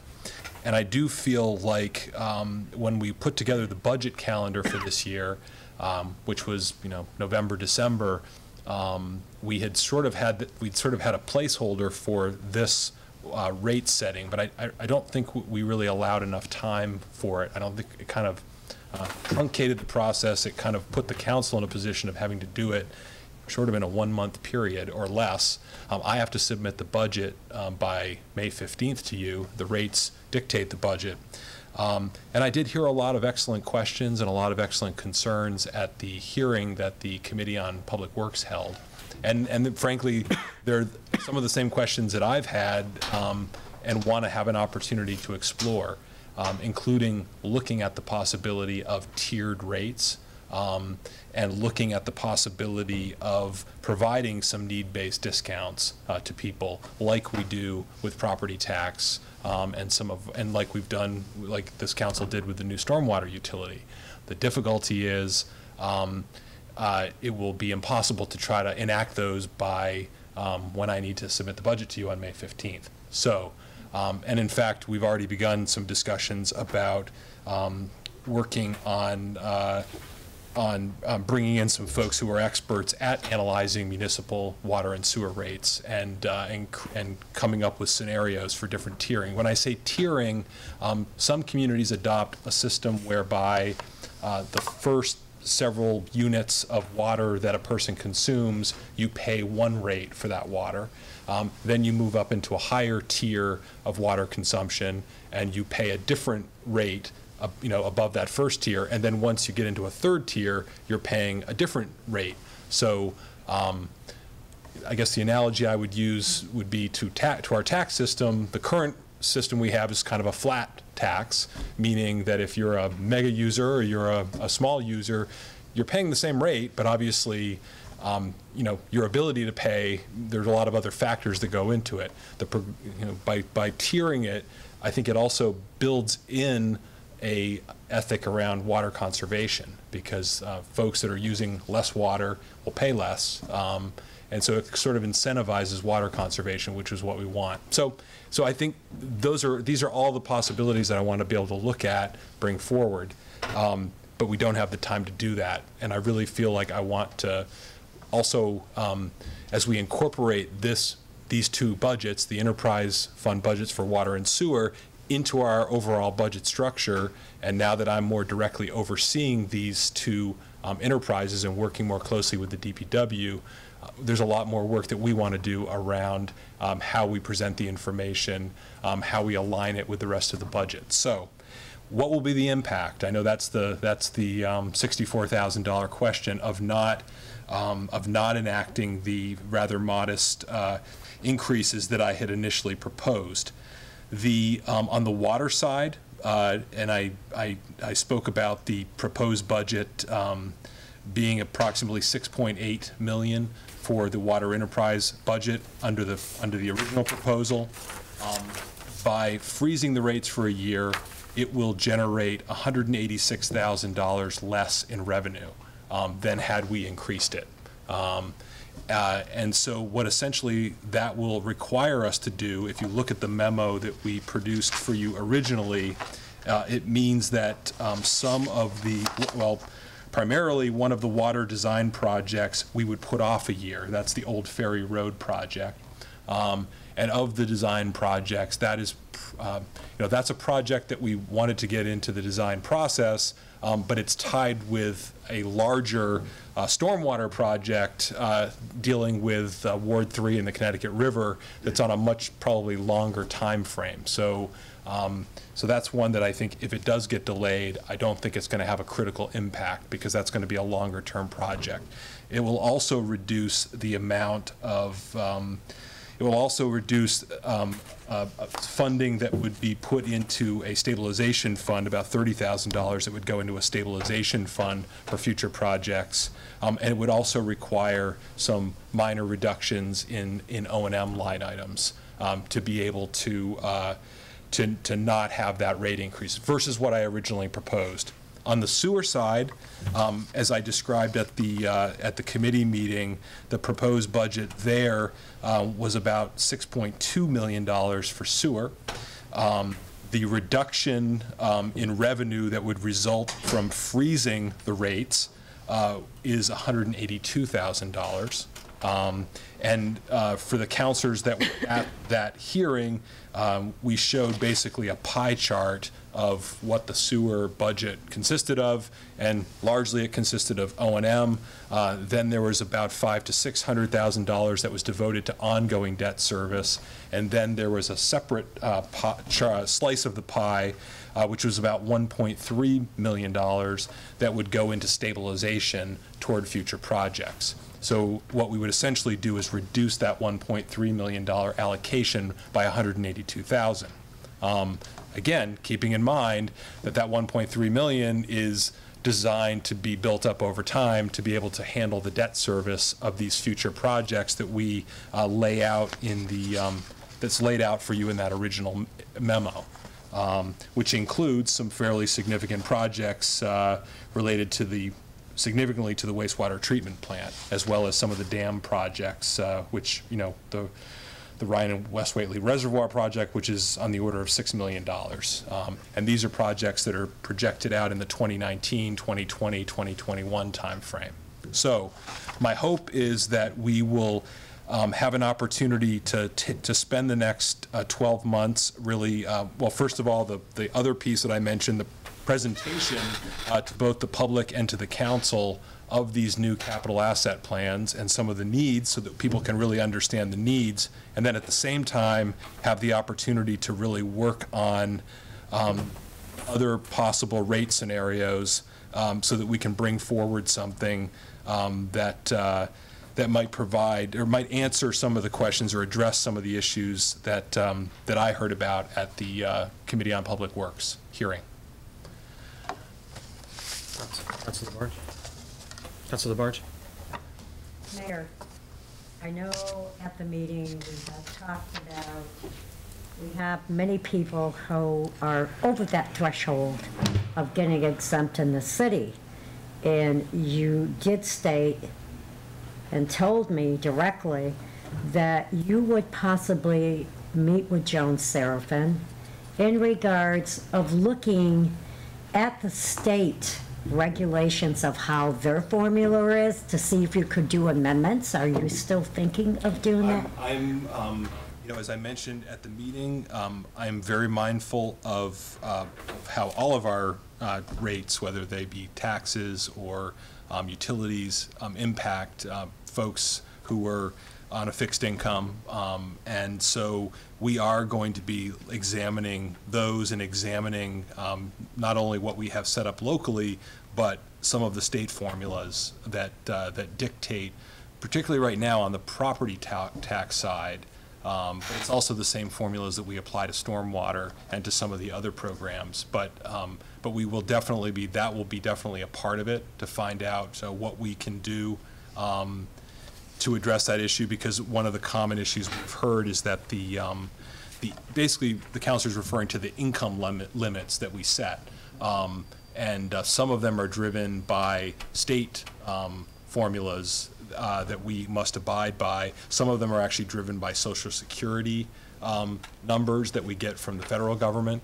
And so we are going to be looking at those and figuring out if, the, if there's ways that we can update those, um, because that is a common concern we've heard is that, um, you know, you set the cutoff at a certain point, and um, some people meet it, but then there may be other people who have a need but don't meet it. So we're going to have to figure out how we can um, how we can look at those numbers. And I'm hearing that also from many veterans, and we had a couple of veterans at that meeting, but they don't get exempt for anything.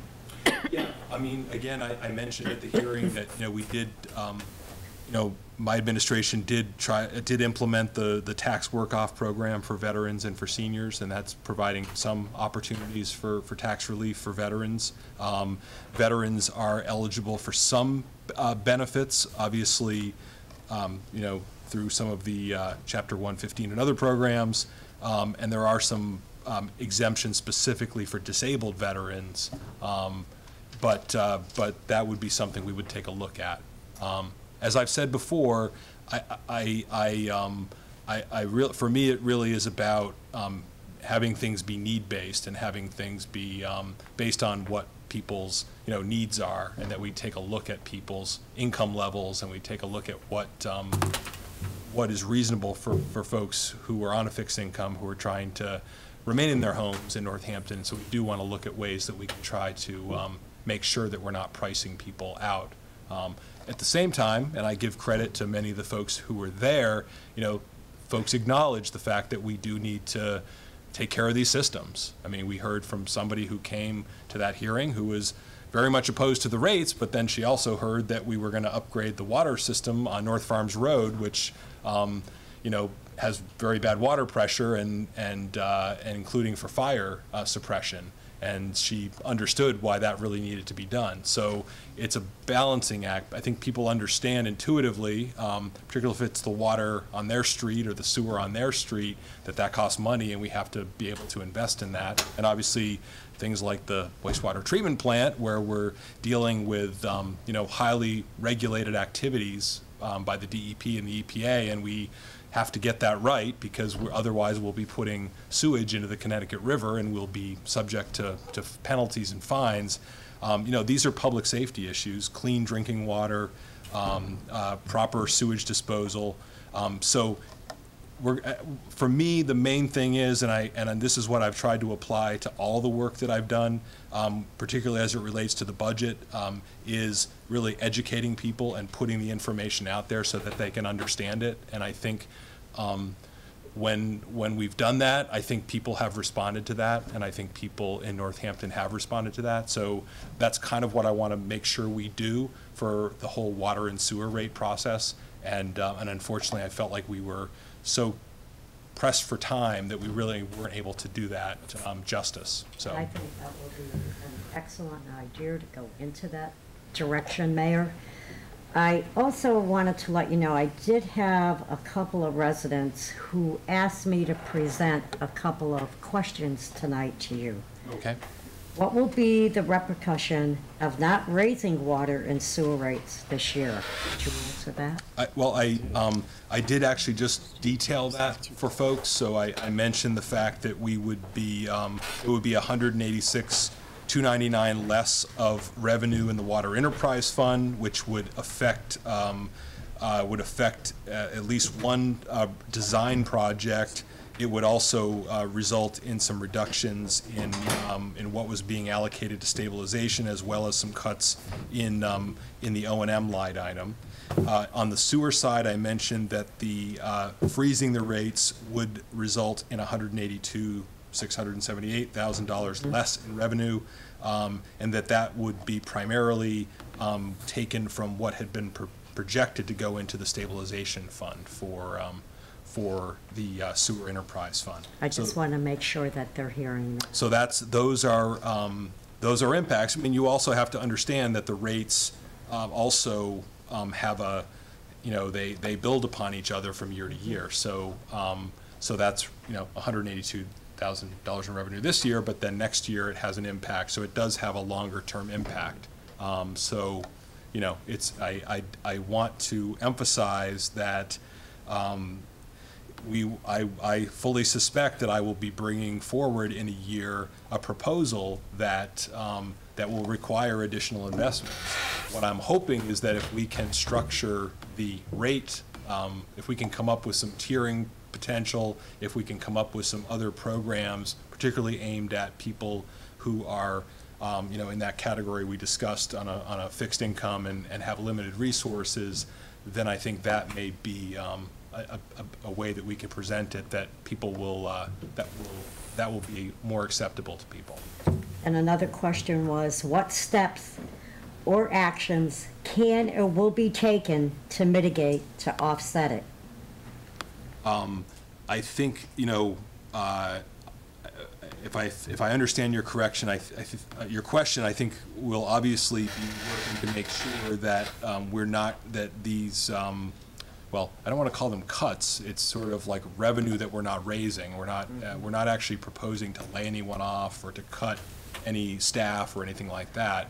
Um, obviously, the resources we do have, uh, the, the DPW and the folks in the water and sewer departments are obviously going to focus on the most critical projects and, and obviously work on the most critical projects.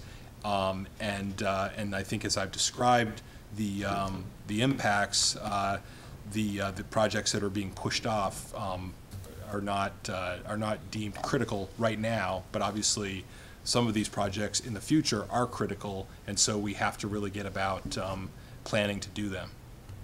Also, I have a group on my ward right now that are bringing up about the pilot program and about you as a mayor, because as city councilors, we cannot negotiate with like Smith College and so forth like that.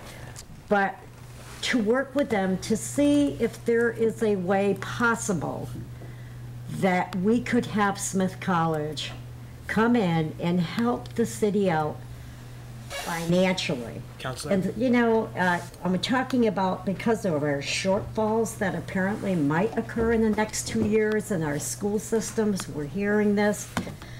I think if we can make an agreement with them, it would be a good thing to do to work with Smith College or even some of the private entities to help defray.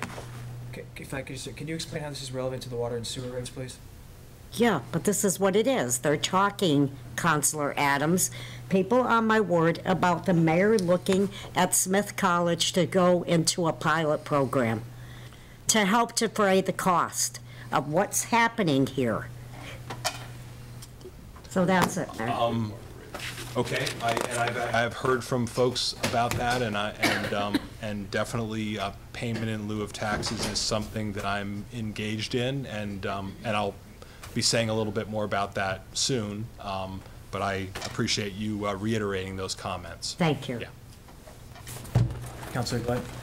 I, I hope that in the calculus, as you're trying to figure out the tier system, that you, we take into account that unfortunately fees in and of themselves tend to be somewhat regressive, um, and particularly when it's water consumption, because people of means actually can afford lower flow systems and also addressing leaks, which I know the net has always described that, that, I mean, leaks are probably the biggest uh, culprit, and um, people can afford to have those fixed.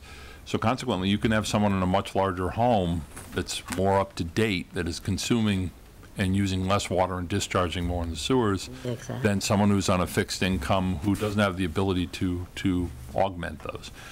And it, that becomes, it, it gets really tricky, and it's, it's unfortunately, this is, as I've often described, this is a situation that's usually handed to us as we abdicate um, essentially, well, in some cases, collecting taxes from corporations and, and uh, wealthier people. We defer to um, establishing fee structures and, uh, and then relying on property taxes, knowing that this, this is the limits of your abilities here, but if there is some tier system that the state smiles upon that allows us to accommodate those uh, who might not be able to um, readily address uh, uh, their, their consumption beyond reducing use, which I think you heard during the testimony, and I got a lot of letters to that effect, that a lot of people have been, been very assiduous about that, and trying to really limit their use and reusing water and gray water and the like, yet still at the same time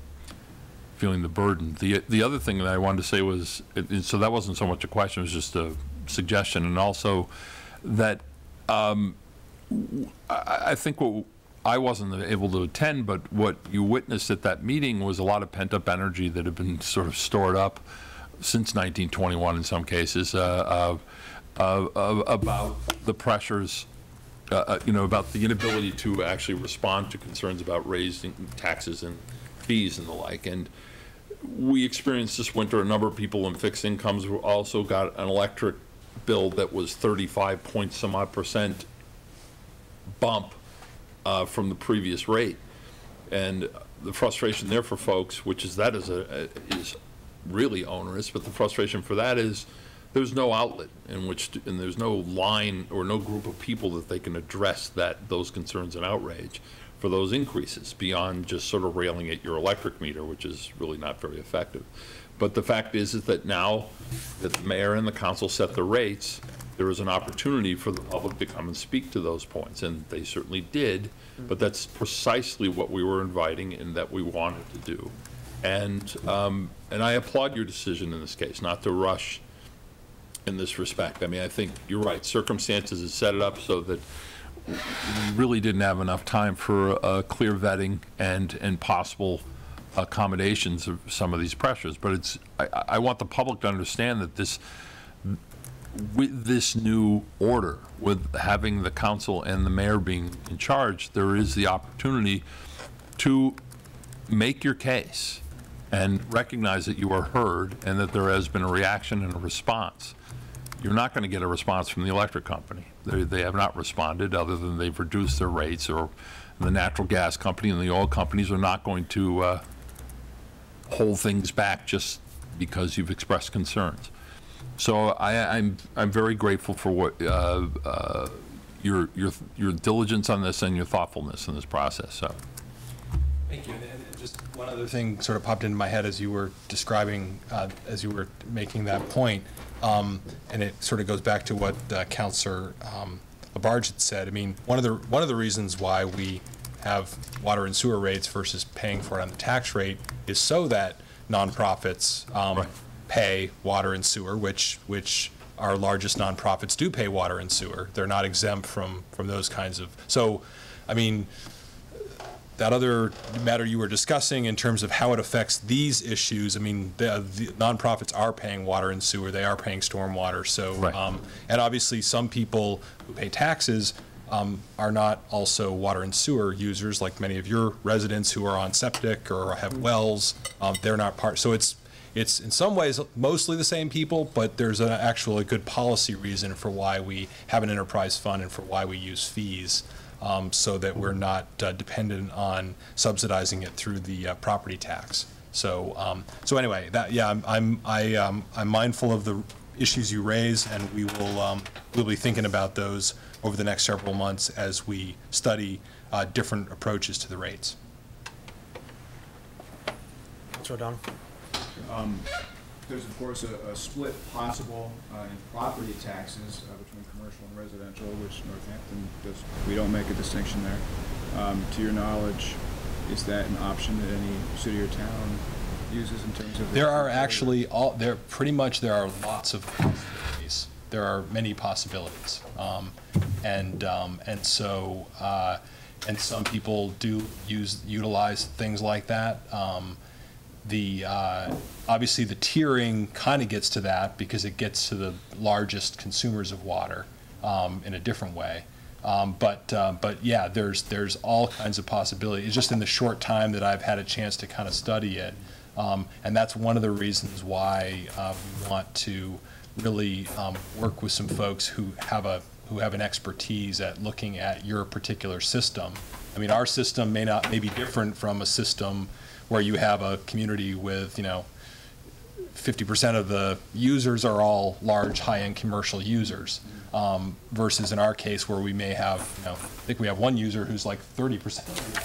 Um, and, uh, and so, um, so we have, to we have to kind of customize it, but we'll be looking at all those options, definitely. Yeah, just when I, when I look at my street, and some of my neighbors, um, some of my neighbors are humans, and some of them are Coca-Cola, you know, Yes. in my section of Ward Three, and certainly Yes, it's a indeed. difference. Corporations are people.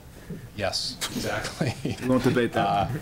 Um, So, yeah, so that's, the- so there's a lot of possibilities. It's, it's less restricted than it is in terms of uh, property tax rates. So we have the ability to be a little more creative. Okay. Um, So,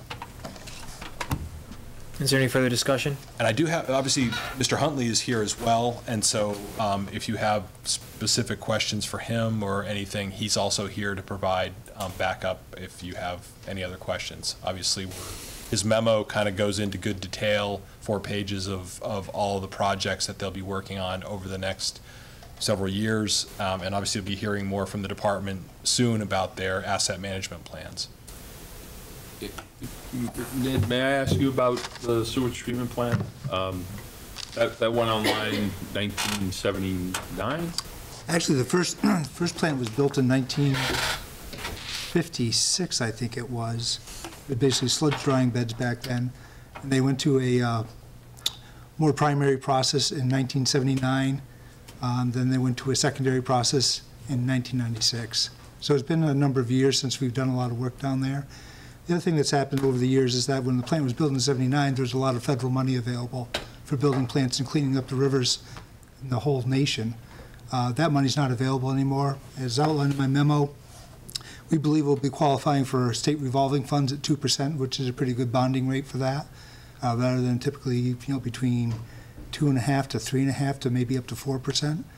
So we think that will help us on that end as far as the wastewater treatment plant goes. So, Those those funds are available because we will have an approved comprehensive wastewater management stan- uh, plan by the state. I mean, oh, so 1979, it's back uh, roughly around the same time we were under the socialist regime of Ronald Reagan, as I recall. So that, that when we would actually subsidize projects like this for clean rivers, and, and the federal government used to provide for levees and dikes and all the other systems, and that's just me being snarky. The, um, the, the now, when we, we basically, we were able to defer for quite a while building a water filtration system, and then the EPA standards uh, mandated that we actually had to build something, which is currently the- some of the debt we're paying down up in Williamsburg. Uh, You foresee, it seems that you guys are building capacity in anticipation of something similar happening with the sewage treatment plant. Am I reading that right? We have, we have identified in the next five to probably seven years that there's about $30 million worth of work to be done on the sewer system, not just the wastewater treatment plant, but pump stations and so on. Um, You know, we're, we're looking at that and and how we move that forward. When the water treatment plant was first designed in 1995, it was estimated to cost $12 million to build. We received a well, waiver from filtration for a number of years, and finally we had a consent order from the federal government to build it. And um, it turned out to be about a $28 million facility when we built it in 2008. So even though we saved money, it cost a lot more, you know, 10 years down the road, 12 years down the road.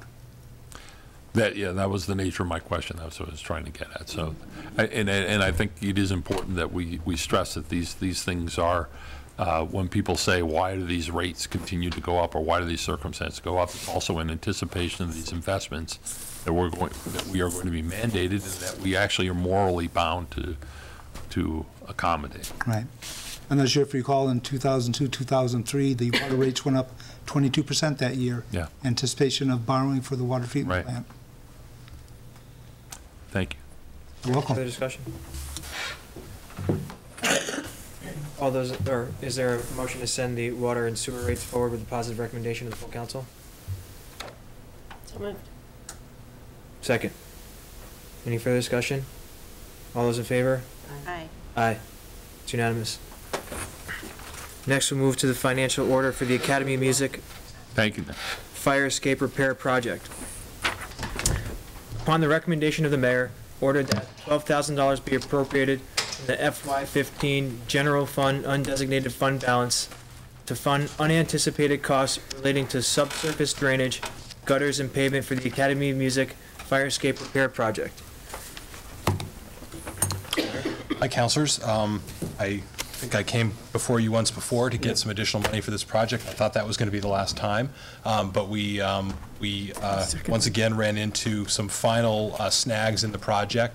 Um, Some of you who may have been driving recently on New South Street may have seen the, um, the, the area where the new fire escapes are, and you can sort of see that it's all kind of torn up, and there's dirt there, and actually the, the poured concrete piers that were, you know, poured into the sonotube are still like above grade. Um, What happened was when they went to do that installation, uh, there was an underground, the gutter system basically had gone into the ground there, um, and it basically had compromised the soil so badly that when they went to try to pour footings for the, um, for the fire escape, they ended up having to do a much more um, in-depth um, excavation, um, and they had to figure out a way to reroute the, um, where the terminus of the downspouts were for the Academy of Music. So the funds that you're approving will help us uh, pay for this sort of reworking of the gutter system and the, uh, where the, where the water will actually terminate. Um, It also uh, pay, is paying for uh, the um, sort of finishing the grade of that whole area that's now kind of a, a a dirt um, patch, um, so that we can get it fixed and get it paved properly and get those sonotubes under, under grade so that they're not uh, a trip hazard for people. And it will finally kind of finish off the project uh, once and for all. So um, that's the purpose of the funds. There any questions for the mayor? Councilor Spector? I see you're requesting two readings. Could you just explain why? Well, we'd like to be able to um, uh, get the work completed. Uh, We have a number of um, shows uh, coming up, and, uh, and people use that side door area quite a bit. And so we're just concerned about um, people, especially as they come around the building. It's kind of an uneven area. Okay. Um, And also, if we start to get significant rainfall, um, we're concerned about, you know, sort of erosion of that area. Because right now, it's kind of still soil and dirt, and it's kind of all exposed. So we, and, you know, and frankly, you know, it's an eyesore. Uh, And the academy, we've put so much money into the academy, uh, not we, but, you know, in terms of donations, in terms of state money. um, And there's been a lot of work to really, uh, you know, make it the gem that it is, that, you know, it's sort of ugly, it's sort of an eyesore to see this last piece of it not finished, so we just want to get it finished. Okay, thank you. Any further discussion, questions? Is there a motion to send us forward with a positive recommendation to the full council? Moved and seconded, uh, further discussion? All those in favor? Aye. Aye.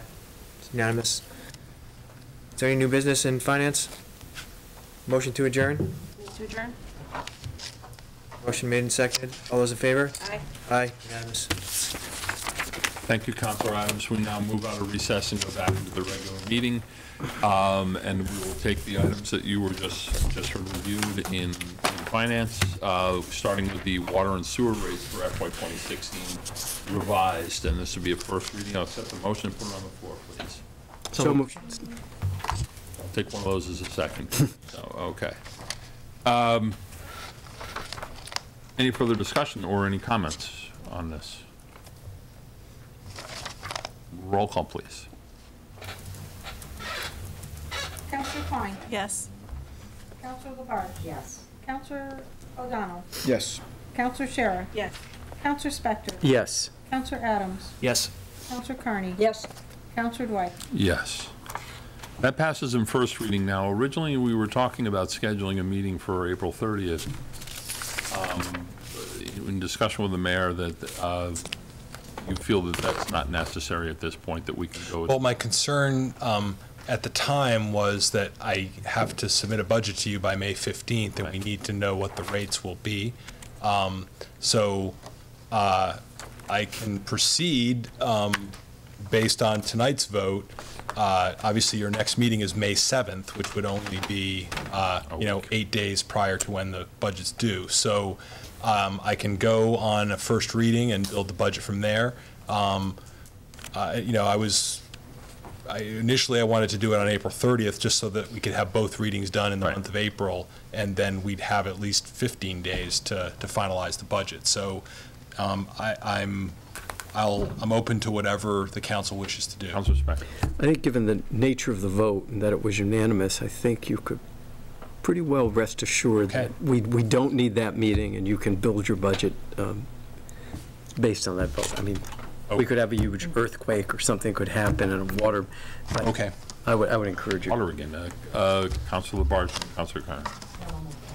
Oh, just a question, I mean, not an earthquake, but a quorum issue, if there's, I know I may not be here on the 7th, and uh, if if we do need a two-thirds, uh, we need six votes in order to pass the financial order, is there, is there a question about the, Well, um, that's a good point. Um, I don't, I haven't heard from any other councilors suggesting that they might not be here. Should it come to that, I will contact and we can do a remote participation. okay. Or we could call a special meeting a few days after. We did, we didn't get to do a remote participation. We're just aching to do that. So should it come to that, we can, we can certainly invoke that. Although remote participation wouldn't help your quorum issue, if you had a Yeah. quorum issue. Well, the- the Or- quorum- Yeah. Or, Councilor, we could call, if we don't have a quorum that Thursday, we could call another meeting early the next week, special meeting. I just don't see the necessity right now, I don't think, unless other councilors here now are As long as I planning get not a to be sense here. the council that this is fine. Are other councilors not going to be here, or know they're not going to be here on that May 7th meeting? I can't guarantee anything. The only other option would be to do two readings, but readings, and that's I- your, that's your, The reason I, Tonight. I I would, ac- I would actually, uh, I don't see a problem with doing two readings for a number of reasons. First, at the rate, it's not as though there's an increase that we're talking about, we're talking about a freeze. Um, It seems that it might not be inappropriate to do two readings tonight, given that it's not a substantial change. In fact, it's no change. Um, um, So are you is that a putting that as a motion? Yes, I'd make a I motion would that we second that. amend uh, council rules to do two readings tonight. All right, so there's an emotion to suspend rules for the second reading and seconded.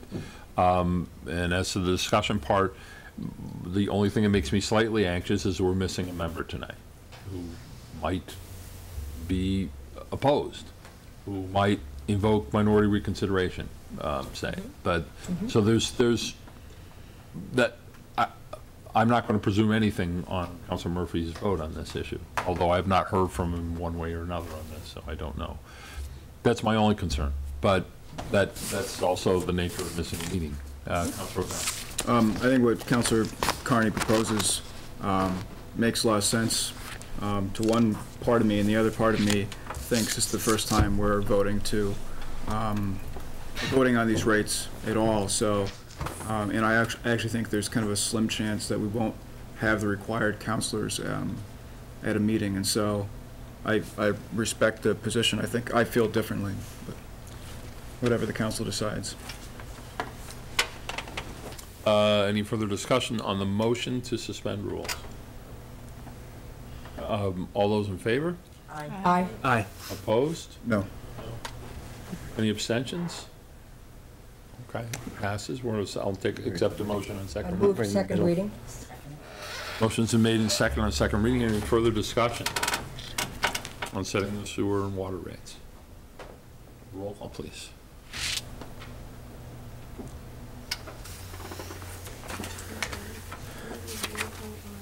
This is uh, second reading of the water and sewer rates. I could have Did you abstain? They didn't count me. Councilor I didn't vote, uh, Labarge. but passed. Yes. Councilor O'Donnell. Yes. Councilor Sciarra. Yes. Councilor Spector. Yes. Councilor Adams. Yes. Councilor Carney. Yes. Councilor Dwight. Yes. Councilor Klein. Yes. That passes in second reading, and the rates for water and sewer are set for 2016. Next up is the financial order for the Academy of Music Fire Escape Repair Project, and as you heard, there was a request for two readings. Is there, I'll accept the motion. There's a motion made, is there seconded? Okay. Um, Any further discussion on this item? This is like pulling a loose thread on a sweater, this project, but, um, uh, no further discussion. Roll call, please. Councilor O'Donnell. Yes. Councilor Sciarra. Yes. Councilor Spector. Yes. Councilor Adams. Yes. Councilor Carney. Yes. Councilor Dwight. Yes. Councilor Klein. Yes. Councilor Labarge. Yes. Move to suspend rules for uh, two readings? Motion's been made and seconded to suspend rules. Any discussion on the suspension of rules? All those in favor, please say aye. Aye. Any opposed? Any abstentions? I'll accept the motion. Move second reading? Second. Thank you.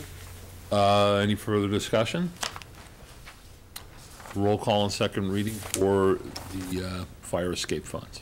Councilor Sciarra. Yes. Councilor Spector. Yes. Councilor Adams. Yes. Councilor Carney. Yes. Councilor Dwight. Yes. Councilor Klein. Yes. Councilor Labarge. Yes. Councilor O'Donnell. Yes. That passes in second reading, those approved. Um, You'll notice item C on your agenda, we've already done, so we knocked that off. We're up to uh, the financial order. This is second reading for the appropriation of $20,500 from the Cemetery Perpetual Care Fund to fund a conservation plan for the Bridge Street Cemetery. Move second reading? Motion's been made and second. Any further discussion on this? This is, as you recall, to uh, improve the fence and do, and effect some repairs in, over and above the CPC um, funding for this project.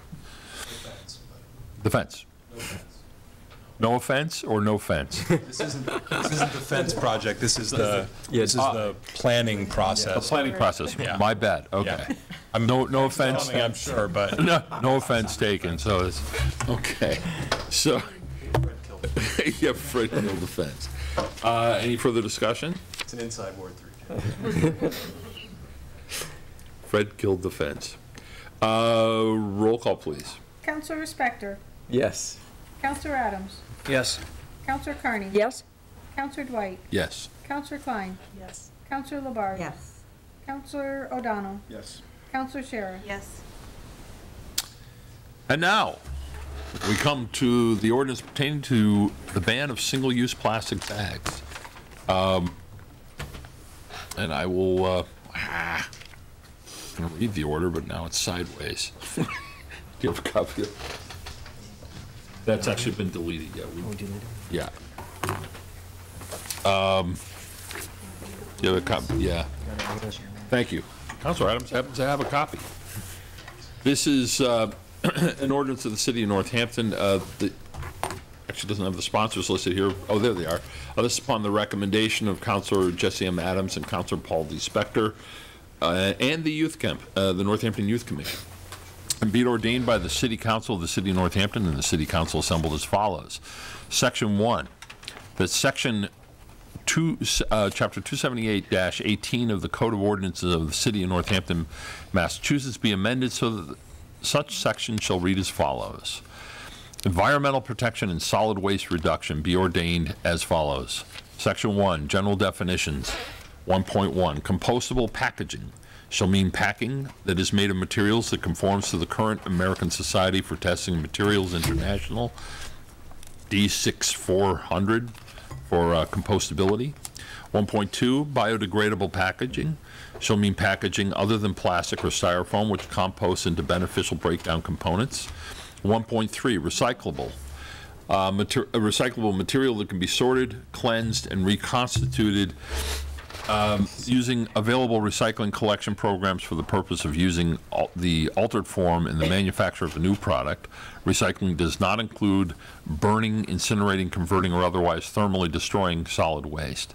1.4 retail establishment shall mean all sales outlets, stores, shops, pharmacies, or other places of businesses, know, business located within the city of Northampton which sell or convey merchandise directly to the ultimate customer. 1.5, uh, retail food establishment shall mean all sales, excuse me, all sales outlets, stores, shops, restaurants, markets, supermarkets, clubs, or other places of business which sell, serve, or convey food directly to the ultimate consumer.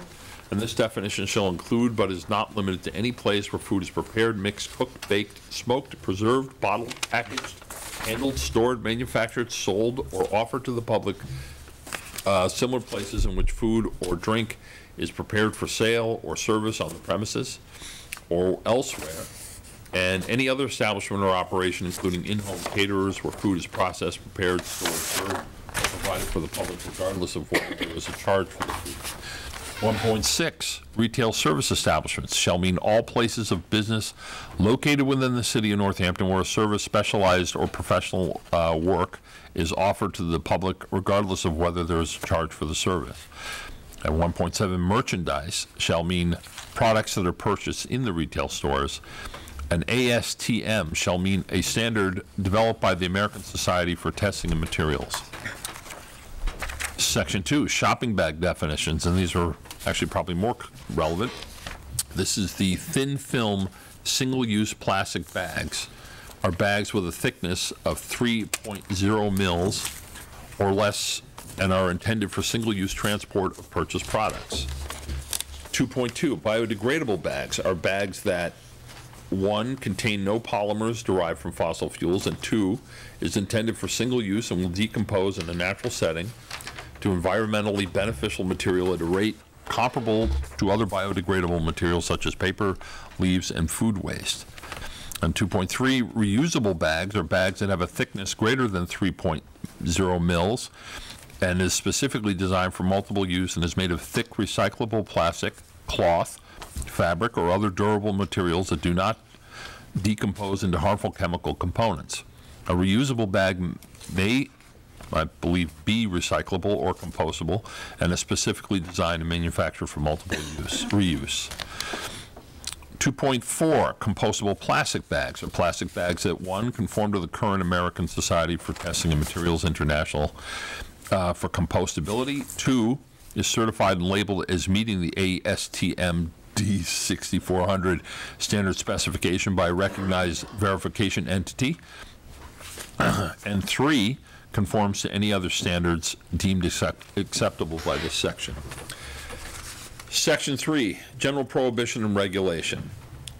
3.1, no retail establishment, retail food establishment, or retail service establishment as defined in sections 1.4, 1.5, and 1.6 respectively, shall sell or convey merchandise to ultimate customers in thin film, single-use plastic bags, and shall only use such bags that are, one, reusable, or two, biodegradable bags, or three, compostable plastic bags. Section 4, these are the exemptions. Section 3 of this regulation shall not apply to the following items. 4.1, thin film plastic bags used to contain dry cleaning, newspapers, produce, meat, bulk foods, wet items, and other similar merchandise typically without handles. 4.2, any flexible, transparent covering for uncooked or raw meat, poultry, raw fish, hard cheese, cold cuts, fruit, and vegetable products, baked goods, or bread. And then we come up to section five, the penalties enforcement. 5.1, if it is determined that a violation of any section of this ordinance has occurred, the health department or the mayor's designee shall issue a warning notice for the initial violation. 5.2, if an additional violation of this ordinance has occurred within one year after a warning notice has been issued for the initial violation, the health department or the mayor's designee shall issue a notice of violation and shall impose a penalty against the retail establishment. 5.3, the penalty for each violation that occurs after the issuance of the warning notice shall be no more than, one, $50 for the first offense, two, $100 for the second offense, and all subsequent offenses. Payment shall be made within 21 days to the city clerk. Non-payment of such fines may be enforced through civil action in the Northampton District Court, and no more than one penalty shall be imposed upon a retail establishment within a seven calendar day period. Uh, 5.4, violators shall have 21 calendar days after the date that a notice of the violation is issued to pay the penalty. Section 6, date of effect. This ordinance will take effect on January 1st, 2016. Section 7, hardship deferments. Upon a written application, the Health Department or the mayor's designee, after a public hearing, may defer application of any section of this ordinance for a six-month period after the effective date stated in Section 6 of this ordinance upon a showing of hardship. Hardship will be found when, one, compliance with any section of this ordinance would cause significant economic difficulty. Two, there is no readily available compliant uh, substitute. 7.2, any entity granted a deferment by the Health Department or the mayor's designee must reapply prior to the end of the six-month exemption uh, period and demonstrate continued undue hardship if it wishes to have a deferment extended. Deferments may only be granted for intervals not to exceed six months. 7.3, a deferment granted in accordance with this section may be extended no more than two additional six-month periods upon written application to the Health Department or the mayor's designee, at least two months prior to the expiration of the prior deferment period and upon showing that the circumstances justifying the deferment continue to exist. 7.4, a deferment application shall include all information necessary health department for, necessary for the health department to make its decision including but not limited to documentation showing the factual support for the claim deferment. The health department or the mayor's designee may require the applicant to provide additional information to permit uh, it to determine the facts regarding the deferment application. 7.5, the health department or the mayor's designee may approve the deferment application in whole or in part with or without conditions that deems necessary to protect the environment and public health and further the interests of, of this ordinance. 7.6, deferment decisions are effectively, are effective immediately and final. Section 8, severability and ordinance numbering. Uh, Any word, term, or section deemed illegal for any reason may be severed from this ordinance without affecting the viability of the whole.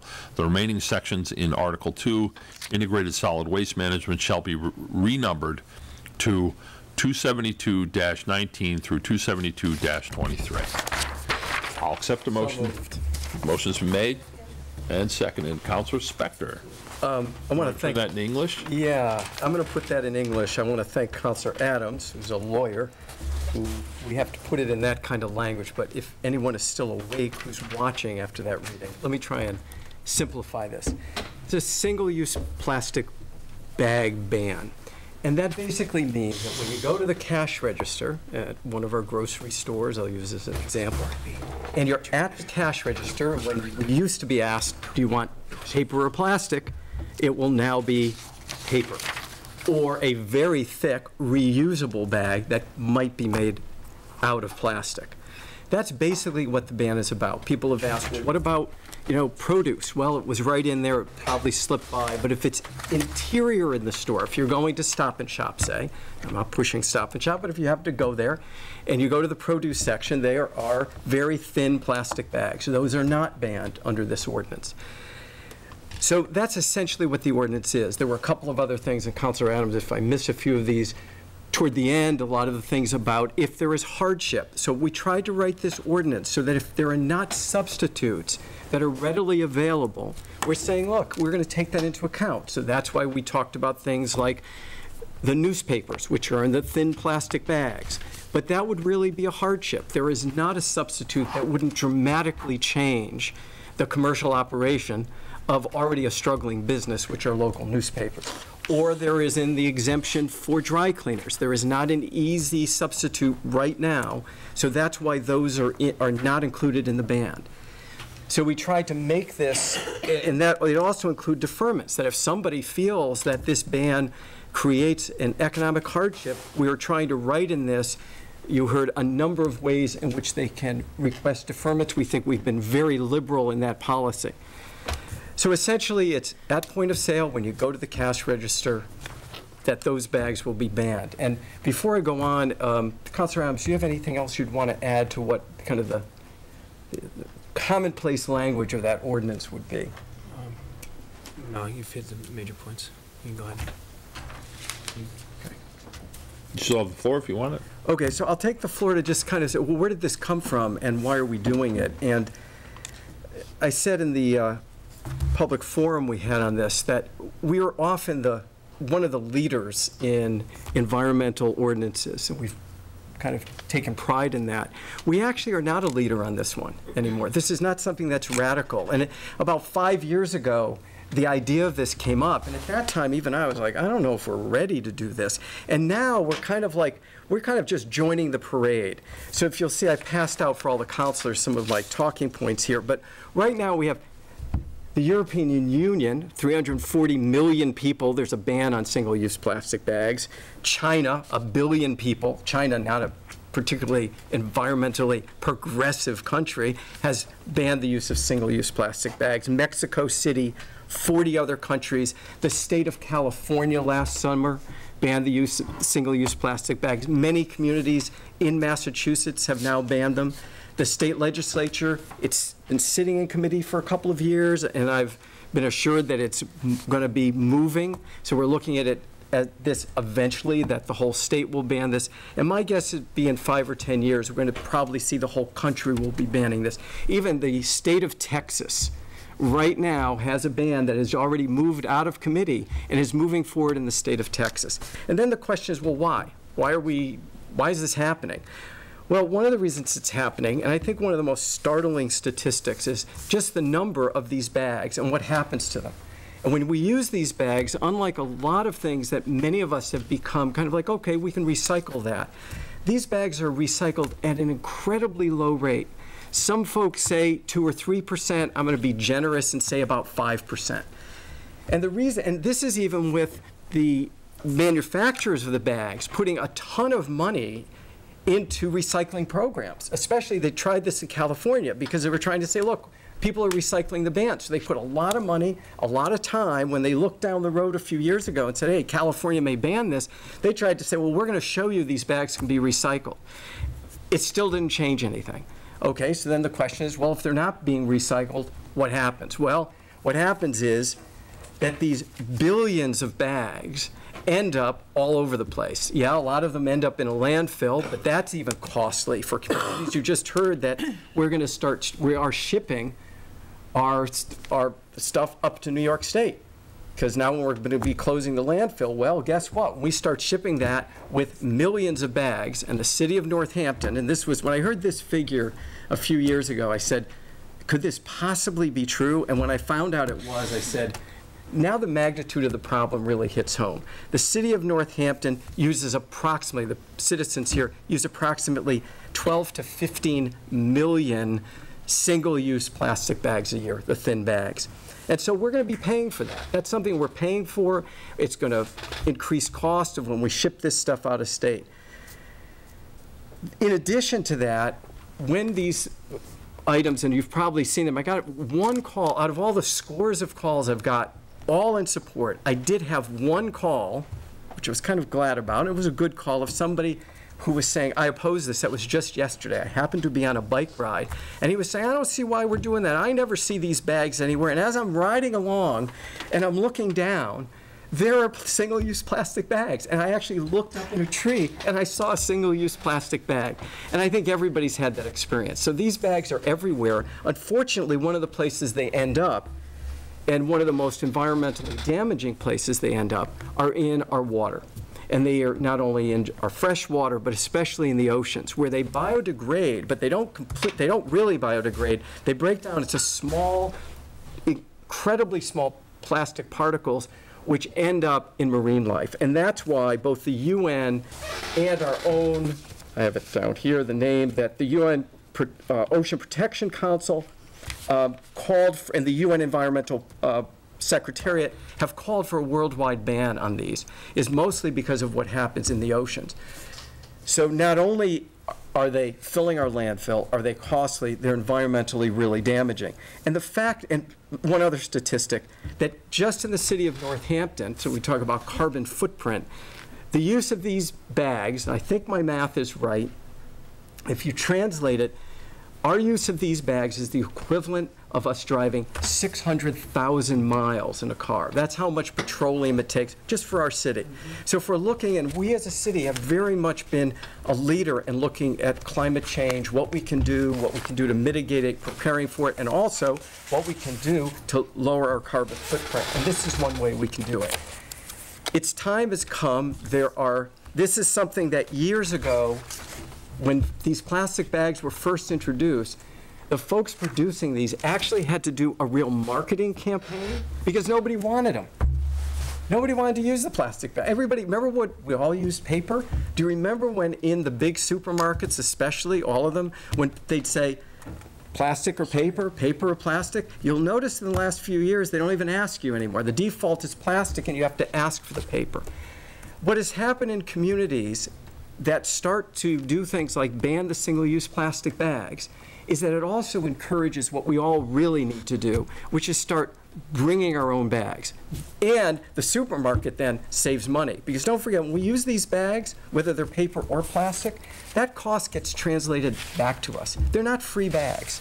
We pay for it in the operation of that store and the increased cost of our food. So as more and more of us start to bring our own bags, which they've at Stop and Shop, when they experimented and encouraged people to do that four years ago, the use rate was almost 40%. And they only did that for a little bit of time. So you heard one of our local store owners tonight speak in public session that they've, they haven't used plastic bags at all. And we've got most of our local grocery stores have already already leading the way, and they're doing just fine by not using these single-use plastic bags. So I hope everybody will support this tonight. Uh, Adams. The only thing that I would add is I think this is a major legislative accomplishment. I'm very proud this is a council-driven initiative. And um, Councilor Spector and I spent, spent well over a year um, with this. And it was, it was a huge, huge and and long and tedious effort for us to research this and draft it and reach out to the public and um, hear back and, and make uh, concessions and, and um, amendments. And, and I think it was a good process, and I think that this will go a long way to, to um, demonstrate our commitment to environmental protection, solid waste reduction, and sustainability, and take part in this global effort. Councilor Klein. Um, Well, I'm really thrilled that this is being introduced. I think it's a very important uh, piece piece of legislation, so thank you to the councilors. Um, I, this has been a real uh, kind of passionate, passion issue for me because um, I serve as a volunteer for the Western Massachusetts Bag Share Project, which is a project that sews uh, reusable cloth bags and distributes them among stores, local stores for uh, use. People take them uh, home with their groceries to hold their groceries and then bring them back to the store so that they're in constant use. Serio's, cornucopia, uh, Florence Hardware, a number of stores um, in Northampton and Florence are working with the Bag Share Project. Um, And in fact, we have calculated in the last five years, we've kept 6 million plastic and paper bags out of our landfill and local waste streams locally with the Bag Share Project. And I just want to add to some of the statistics that we use in the Bag Share Project to what Councilor Spector shared. Um, Let's see, so as, as of the end of 2014, 132 cities and uh, counties in 18 states and the District of Columbia have instituted similar measures to this one. Um, But as Councilor Spector said, the European Union, China, India, dozens of other nations have already banned plastic bags, or they have taxes in place. Um, Annually, around the world, we consume 1 trillion plastic bags, and only 3.5 of them are recycled, as Councilor Spector uh, alluded to. In Northampton, the percentage is a little higher. Um, We've calculated that only about 5% of plastic bags are recycled. It's a little higher than the national average, but it's uh, not much higher.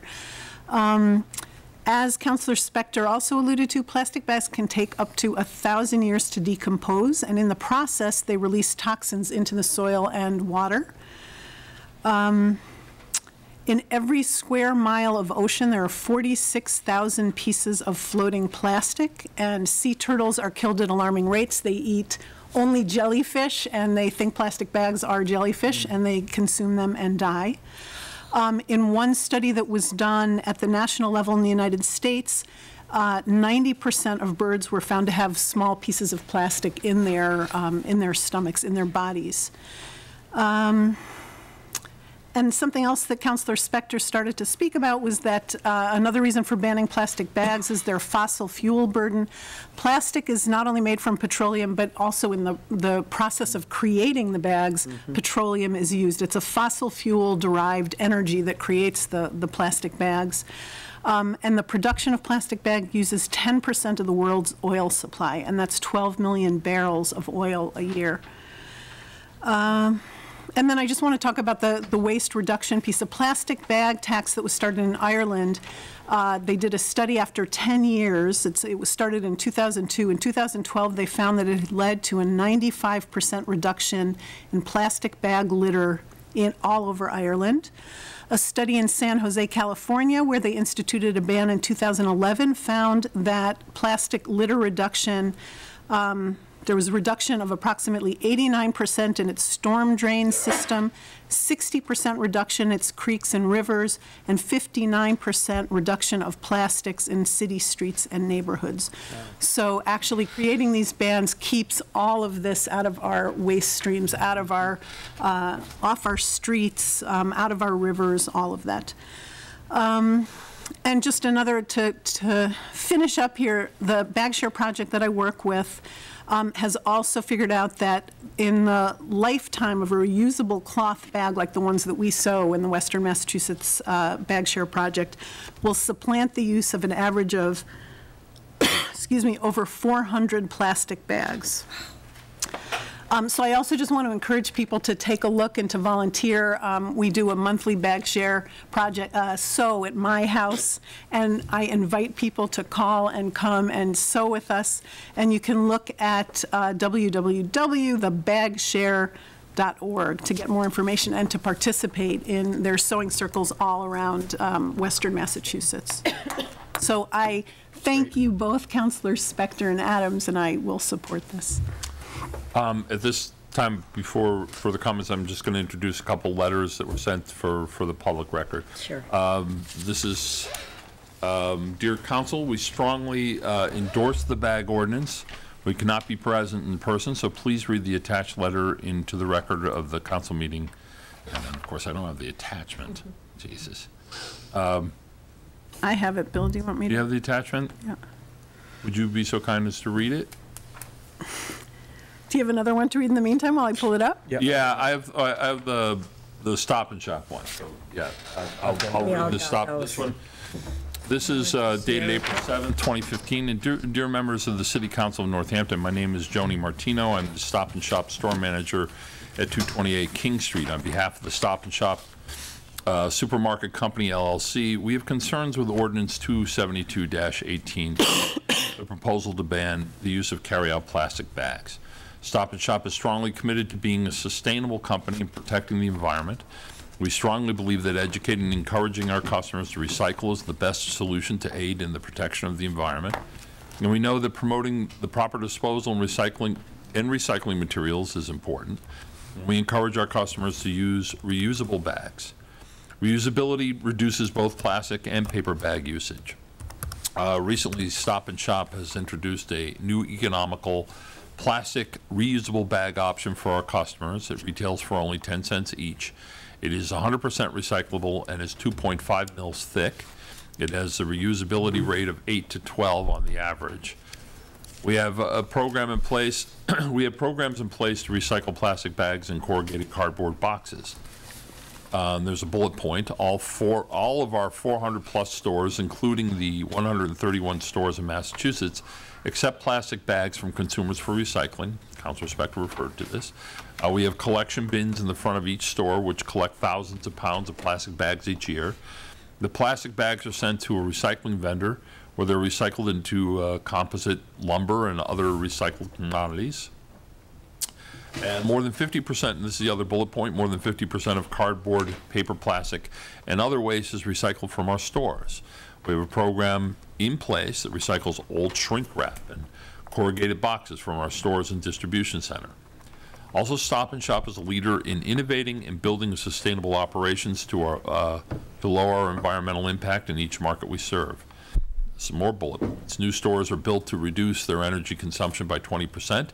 We have 230 stores that meet the Energy Star criteria by EPA. Stop and Shop and its sister companies underneath, Ahold, really? USA, uh, hold the distinction of oper- operating the largest fleet of LEED-certified grocery stores in the U.S. Um, Several stores utilize solar panels, which generate around 8% of the store's electricity needs, and we continue to expand their use into new stores. And one of our newest stores in Wayland, Mass. features electric vehicle charging stations. We oppose an, an adoption of this proposal and would like to partner with the town of Northampton, city of Northampton, uh, to educate and promote recycling in the town. Thank you for the opportunity to submit this testimony respectfully, uh, Joni Martini. Can, may I speak directly to that letter before you read the next one? Uh, Why don't, why don't I, why don't I do this one too, and then you can speak to them all in the whole. Okay. I, I just don't want people to forget some of what you read in that letter, and I'm going to even forget it. Right, You have the letter. You might have to pass it. I, I have to here to refresh it, so. Okay. Um, and this is the letter, um, this is from the Sierra Club. Uh, Dear councilors, the Massachusetts chapter of the Sierra Club commends the efforts of the council to restrict the use of single-use polyethylene bags. Plastic bags are one important part of the effort to reduce unnecessary plastic waste. The Massachusetts Sierra Club endorses ordinance 272-18 as currently written. In particular, we recommend three mils as the cutoff for reusable bags and are pleased that the city is joining with its sister cities of Newburyport, Newton, and most recently Cambridge in adopting this strong definition. Northampton residents use an estimated of 750,000 polyethylene shopping bags per month. Only 5% are recycled. Eliminating bags from the waste stream will be a significant positive environmental action. Eliminating non-biodegradable packaging, packaging will also beautify the city of Northampton by reducing the unsightly and ultimately permanently thin plastic bags of, of cost. The ordinance allows alternatives that are highly reusable and/or made of natural, biodegradable, and renewable uh, materials. This move to better packaging will enhance the sustainability of Northampton retailers. We believe the city is allowing adequate time to make the transition to these readily available alternatives. This transition is getting easier and faster, especially for the large chain stores that account for the vast majority of existing thin plastic bags, since similar laws are being successfully implemented in a growing number of communities across the Commonwealth and across the and around the country. We hope they will make the changes, the change as soon as possible. We also urge supermarkets in the city to maintain polyethylene bag recycling as long as they distribute other recyclable bags, such as produce bags and bread bags. Such programs have been maintained in other communities that have, that have adopted similar laws. We ask you to vote in favor of this ordinance respectfully. Emily Norton, Mass Sierra Club Chapter Director. Councilor Spector. Uh, If, I- could I have a copy of, I- I can't. Which- which one do you want? The Stop and Shop letter.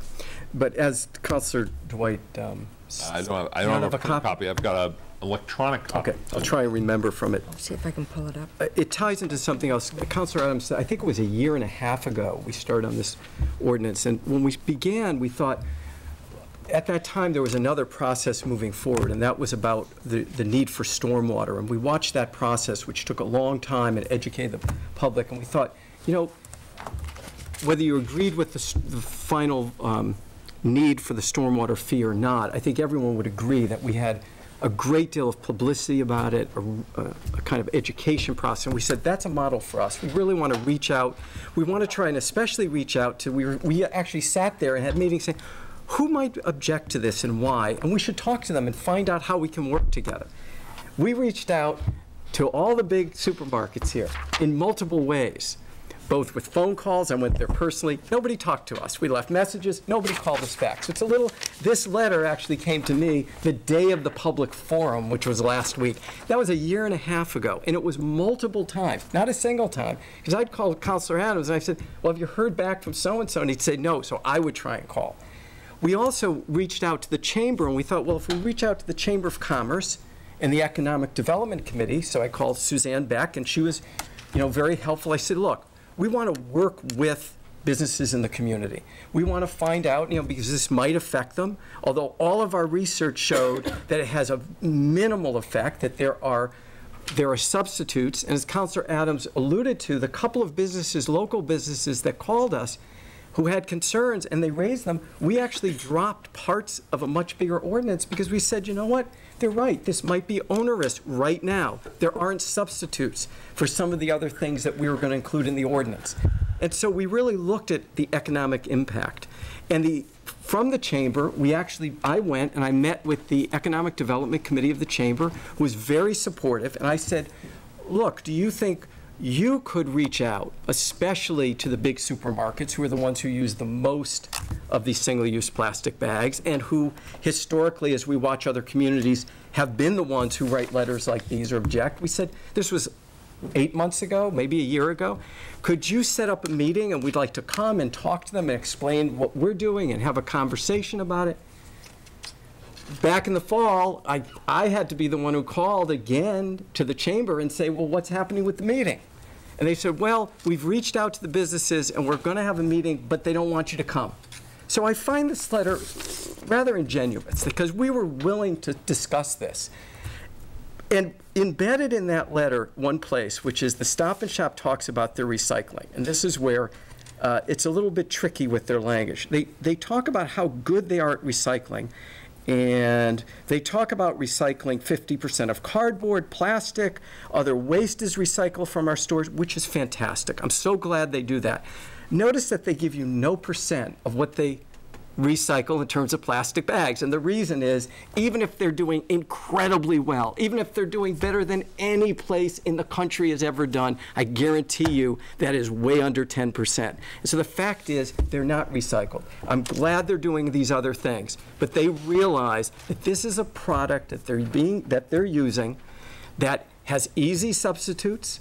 When they talk about going to reusable bags, all the research shows this will help them to do it. Their own experiment at their own store in Northampton showed that when they put just a little bit of effort into encouraging people to bring reusable bags, cloth bags, like the councilor talked about, that this town responds incredibly, in the long run, saves them a lot of money. So that's what I just wanted to say about our outreach. And we have tried to do outreach all year in multiple ways. So I did have, in the same call of the one call that was opposed, said, well, I didn't, I haven't heard anything about this. This process, this shouldn't vote on this tonight because the process, you know, I said, wait a minute, this is, there have been two or three articles just in the Gazette alone. There was an editorial on the Gazette.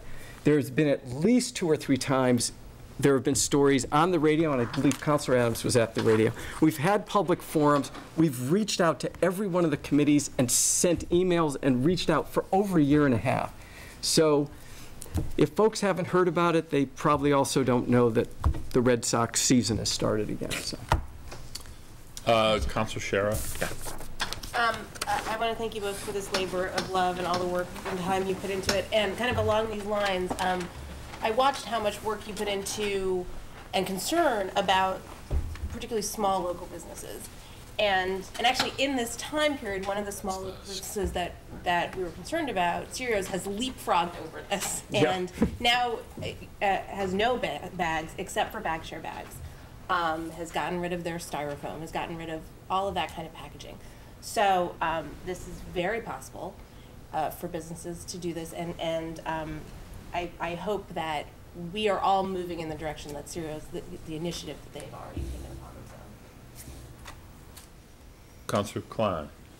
Well, just um, to follow up on the point about um, retailers that are not able to withstand this um, situation, uh, it's really interesting because I think, um, let me see, I have statistics for the US. In the United States, retailers spend uh, at least $4 billion a year on plastic bags, and they purchase over 380 billion plastic bags. So that if in a small city like Northampton, where you have access to something like the Bag Share Project, to all kinds of alternatives, people that bring their own bags fairly regularly, it's actually, it's, it will save retailers money, it will be a boon to retailers. Mm-hmm. It's just a matter of, I think, shifting kind of consciousness of how we um, sell things, how people leave their homes to go shopping.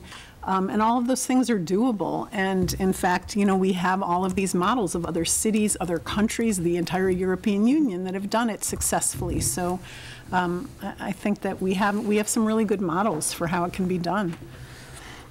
Councilor Labarge? Thank you. I want to thank both of you councilors and Councilor Spector for giving us such a great detail on the ordinance. I've had some people who did call me and wanted to know what the purpose of this was. I support this a hundred percent. To me, it's almost what we went through with the landfill, with the expansion over the Barnes Aquifer protecting the water. I agree with you about the plastic bags. They're ridiculous. And so many of my friends and so many people I know in the city said it would be the greatest thing that we get rid of them. And I have to agree with that also. And I like the idea of the group that the councilor was talking about, sewing bags and so forth. I will support this. Um, I should, uh, first of all, um, mention that some of the objections that I've heard, um, first of all, I'll- I'll preface by saying I'm in full support of this. I've been working with the councilors as, as they've been shepherding this through, but um, there have been some concerns expressed. One was expressed by a, a business owner in Thornes, uh, who you heard at the, at the meeting, which was that it would put him at a competitive disadvantage.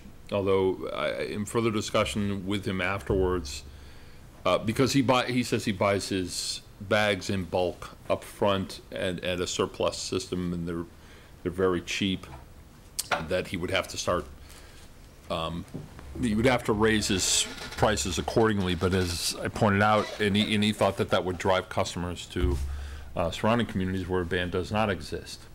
Um, And by the way, the Stop and Shop letter, while expressing that they were opposed, I never heard um, anything substantive that spoke in, about their objection. It was weird, they just listed everything that they did, all the good things that they do, that I hope they continue to do, but it didn't say why this would be onerous or why they would object, it just simply that they did object. That was, that kind of struck me. But um, this particular gentleman was speaking of a legitimate concern. He's, he's uh, an established business here in the community. And my point to him was, I, I said, I'm not sure about the difference uh, in, in, in the increase, in the concern that it would drive other, your customers away. But I have to believe that per purchase, we're talking about in the area of about a penny at the most. And while there are a lot of discerning shoppers in the area, I don't think people make their shopping decision predicated on that cent, on that penny.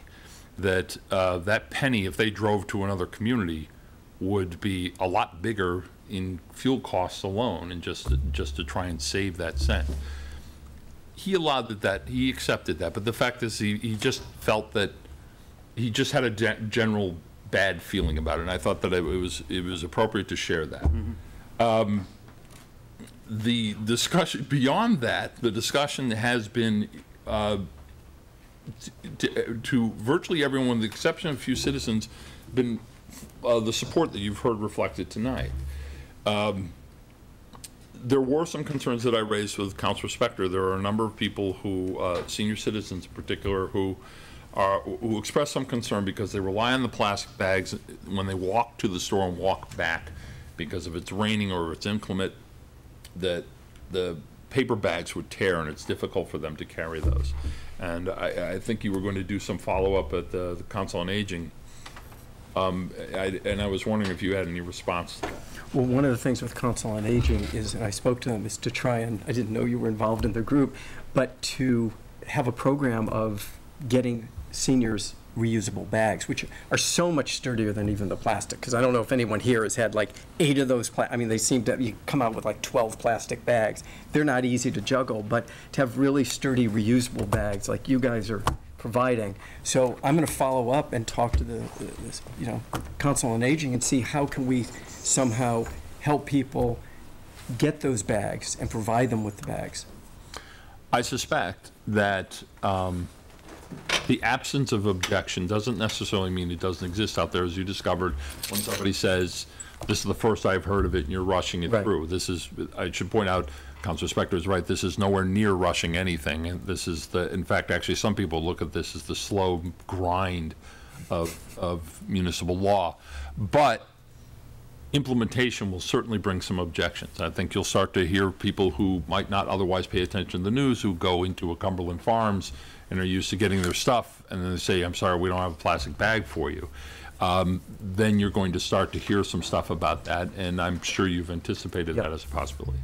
So, um, one objection, since you're raising some, or it it wasn't an objection, but a concern, one group are dog owners, because dog owners use a lot of these bags. And I just want to clarify, because when I explained to them, well, they can still buy their own roll of these very thin bags, which are very cheap, for use with their dogs to pick up the waste. So they were concerned that all of these, you know, you couldn't even buy these bags, and that is not the case. So I just wanted to clarify that. Uh, as- That's the other group. I've heard some objection or some concern. I wouldn't even say these folks objected to it. They said, so what am I going to use? I, I recommend they subscribe to the local paper, the paper record, and that they, they will get a plastic bag with each delivery, and that they will have an opportunity to be edified and find out, get up to speed on these items, and then also have. That's right. An additional bag to pick up after their dogs. Let me just emphasize, the- the- I'd say something I've heard a number of times is, well, more, and this was even true, so I was kind of prepared with all of my talking points. These were, when I went to the Chamber's Economic Development Committee, because I thought they were going to object or have strong objections and question. They were like, why aren't you including the newspaper, the plastic that the newspapers come in? Why aren't you including the cleaning, the cleaning bags. And I tried to explain that to the Economic Chamber Group that it was economically onerous, that we were not trying to create a situation, there aren't substitutes, there really aren't today for the plastic round paper. And you could say, well, we should reinstitute, remember, when- when we were growing up, there were paper boys, and they don't exist anymore. And so if the paper's going to be out there, it's very difficult to run the business without doing that. Hopefully, in a few years, that will change, and there'll be a bag for that. But we actually, that was more objections about we're not doing enough than the very few objections or concerns about the ban itself. And the last thing I would point out, and I think it's mentioned, that the, there currently is percolating in the state, the legislature, is a statewide ban.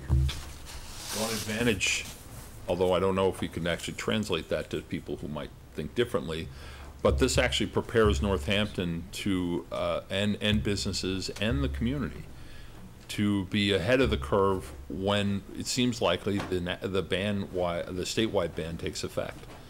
Um, Then that competing interest falls away, and that, it- but we'll, we'll be a far ahead of that. We'll have our reusable bags and our sewn bags well in place by the time uh, the statewide ban comes through. Um, Anyone else have any comments or thoughts on this? Uh, Councilor Adams? A couple friendly amendments based on Scrivener's errors. Okay. It's, yeah, there's some Scrivener's errors, just some omissions that he wants to add on the, on the language. Hit it. Section 2.3, last sentence. A re- reusable bag may be, word B is left out, if we could add that, please.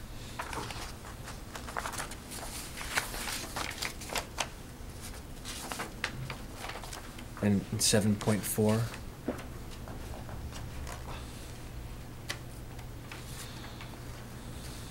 First, first line. After all information necessary, left out for the health department. Words for the should be between necessary and health.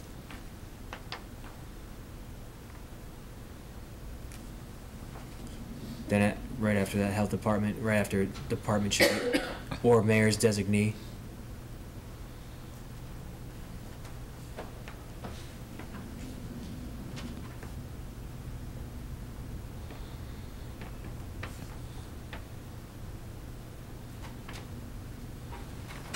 And then in seven point five, mayor's designee, designee should be a capital D.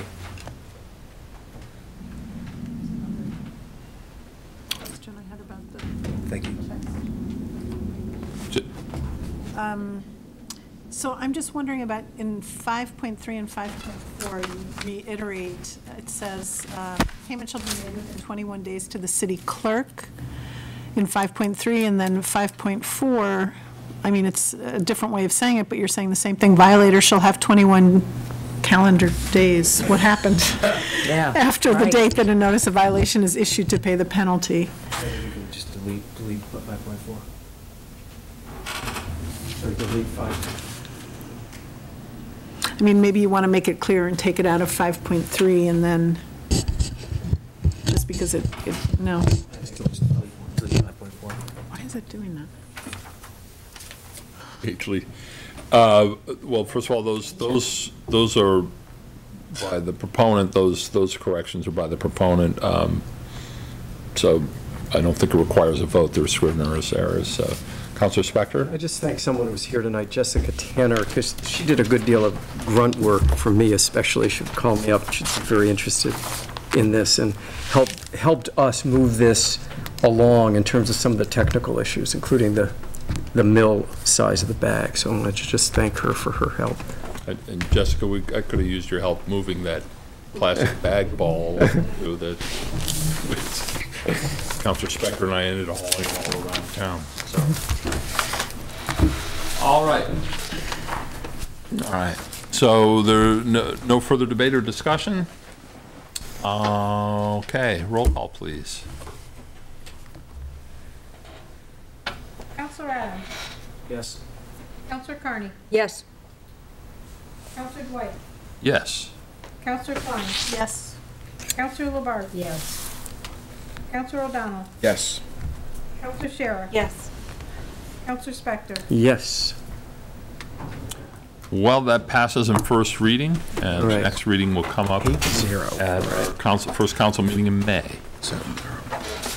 Um, Next up, we have an ordinance pertaining to campaign, well, we're going to strike, it says spending, but we're going to make it con- contributions. Changing the language to say ordinance pertaining to campaign contribution limits. Um, And that uh, was returned from the Committee on Rules, Orders, and Appointments and Ordinances without recommendation. And this is the first reading. And actually, here, let me give you the language on that my uh, computer doesn't crash. Come on. Come on, do it. Oh, come on. Pam, do you have a paper copy? My link's not going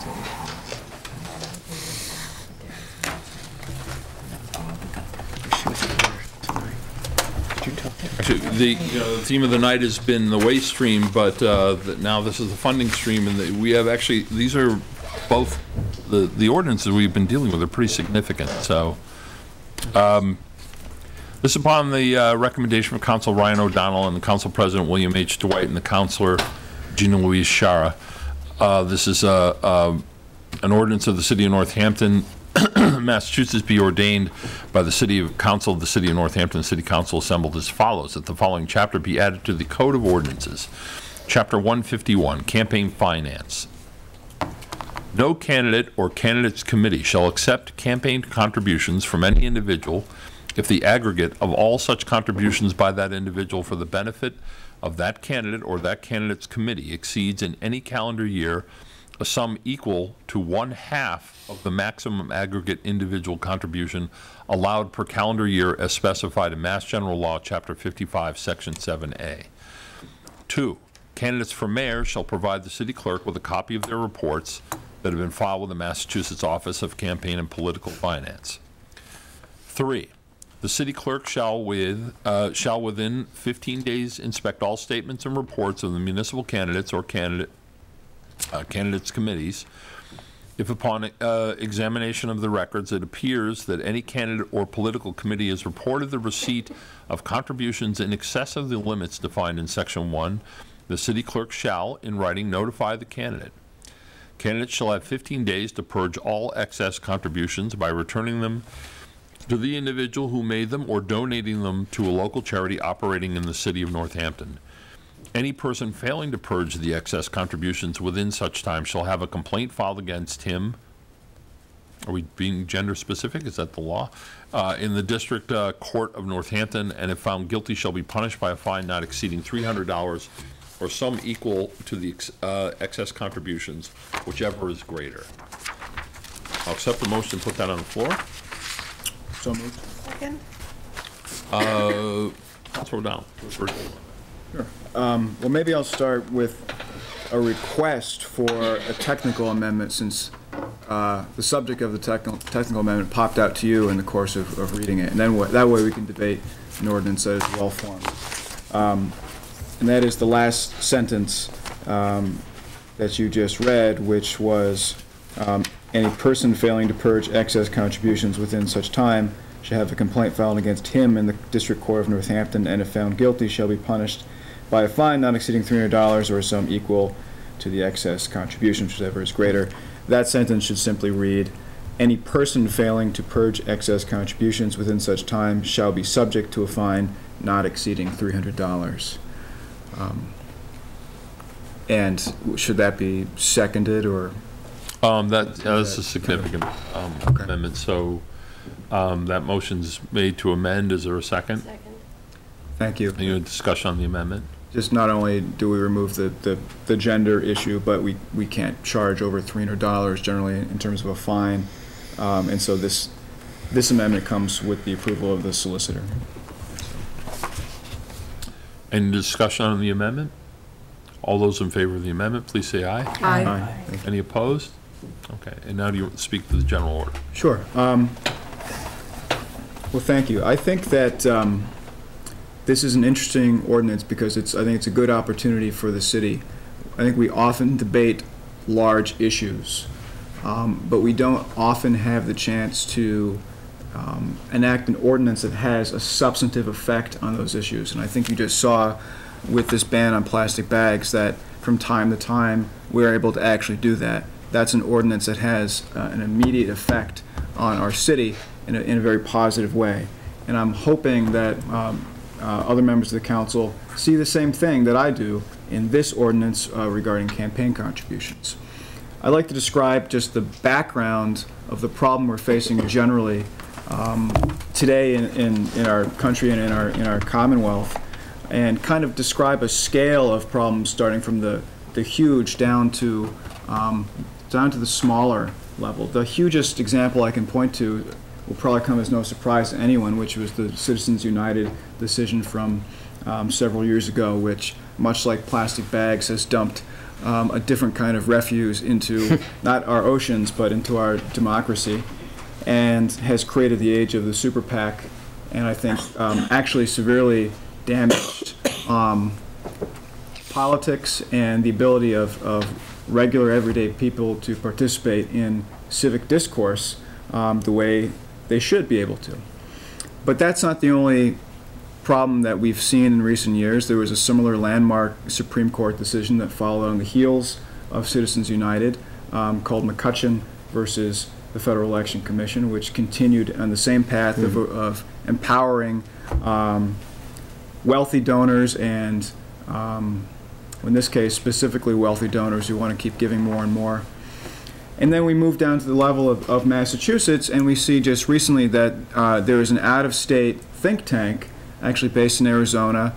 Uh, it's called the Goldwater Institute, so you can you can guess by the name that they're very neutral and non-ideologically driven.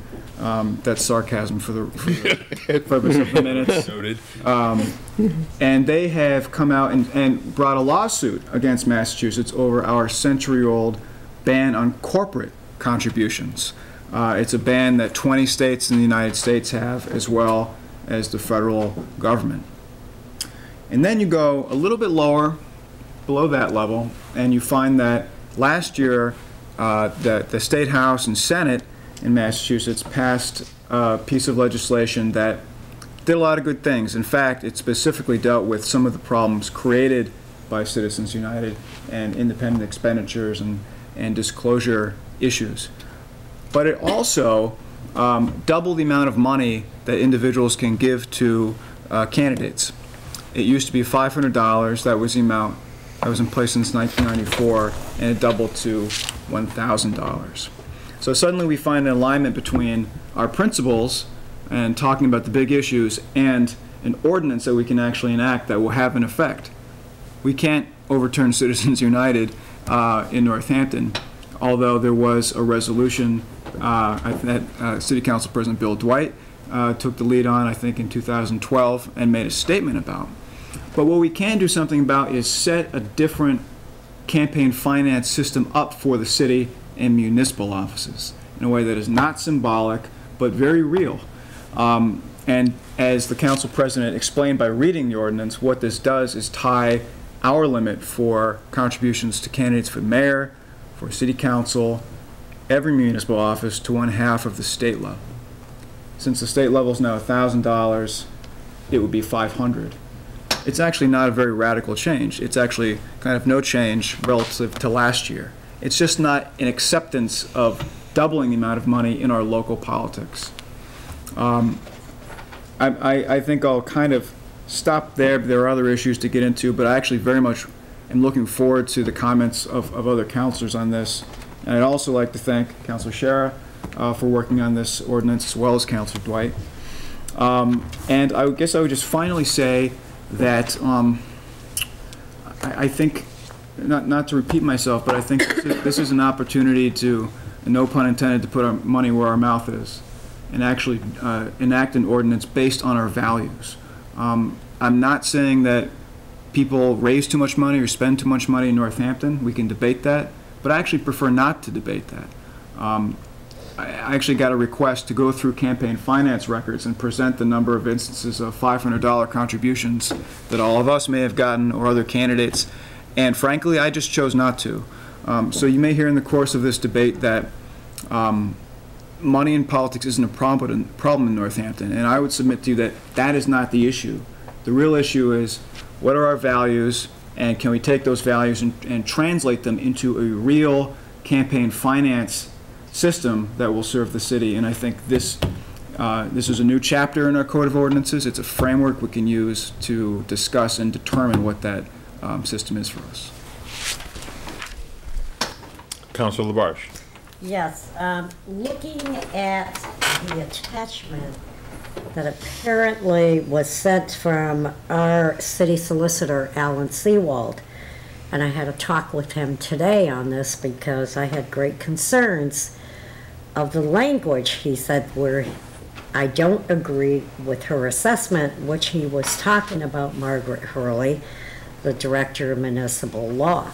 Alan did tell me that someone could attempt to challenge this, and it could go to court. And he explained to me the difference of this. And I also talked with another attorney today on this, that yes, it possibly could be challenged.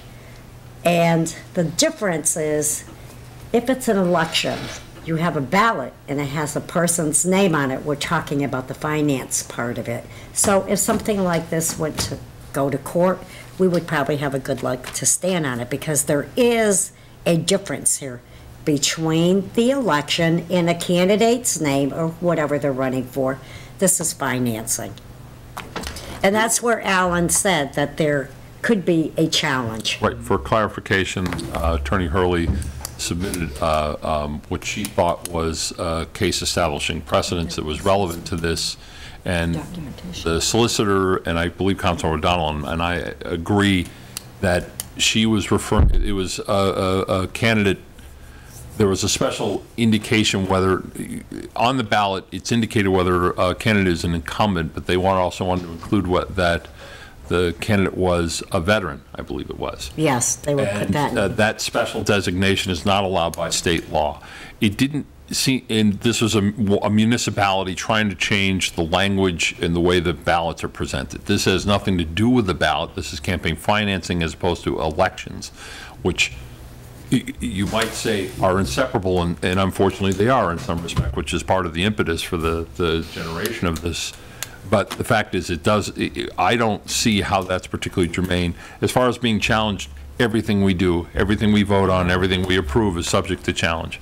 Um, And I think in, in, in doing so, that we, we are, we are projecting and proclaiming essentially what we believe is best for our community, and whether it can sustain and survive if it doesn't run counter to mass general law. Mass general law hasn't really addressed this. I don't think there, no one ever expected that a little tiny community would suddenly say, no, no, no, we don't want that much money in our campaigns. A lot of this, and I think this comes from the fact that um, uh, this is a reflection of the way this state is structured. Most of the influence and most of the votes are all centered around Boston, um, where it probably does cost more to run a campaign. I would imagine in Wellesley, if, you know, it's, it's probably, the, the cost is more significant. It- They're probably spending untold thousands of dollars to run a citywide campaign. It's not the case here in Northampton, and um, the the thing that's, I I think to the larger point that, that Councilor O'Donnell brought up was the fact that money does have influence. A thousand dollars in this community would have, if not actual influence, it's certainly the appearance of influence. If one particular donor were to donate a thousand dollars to any one of our campaigns, that would be a significant amount of money. And it would be fair for the citizens to construe from that that there may be undue influence embedded in that donation. Um, we already get that with the $500 on some level. And, and I think that scrutiny is appropriate. That's why all these things are public record, so that we are subject to the scrutiny. It's, I am particularly proud of this state because we do have uh, some of the best campaign financing laws in the country. But the fact remains is if, this is something that we've talked about um, when we were talking about compensation, we talking about uh, expansion of inclusion, a, a more diverse body here in the council, um, and, and more opportunities for people to consider running, that we have to, we, we have to walk the talk. And this, in effect, does just that. It commits us to saying, while we stand in opposition, and that, and that resolution that Councilor O'Donnell referred to was voted almost unanimously. I think we had one dissenting vote. Um, But it- we, you know, resolutions are easy. There's no particular, um, you know, it's just speaking our resolve. that doesn't necessarily uh, codify anything. This codifies it. This has us owning it. And I- and- and I was, I was glad to see him present this, and I was grateful for the opportunity to be a co-sponsor on this. Councilor Adams. No, please. Um, Two points. One is that um, the last time this was raised, the, the contributions raised was 94, right? So, I mean, I, I do think that campaigns have cost more, cost more to run now than they did over 20 years ago. Just, just, you know, I think that all the, the costs of everything have gone up from, you know, lawn signs to literature. But also 20 years ago, I don't think that um, technology was used as much. For example, I don't think candidates had, you know, websites, et cetera, to the greatest, to, to the extent that they do now. And this doesn't really take that into consideration because it leaves it the same amount, but, but I don't really have a problem with that.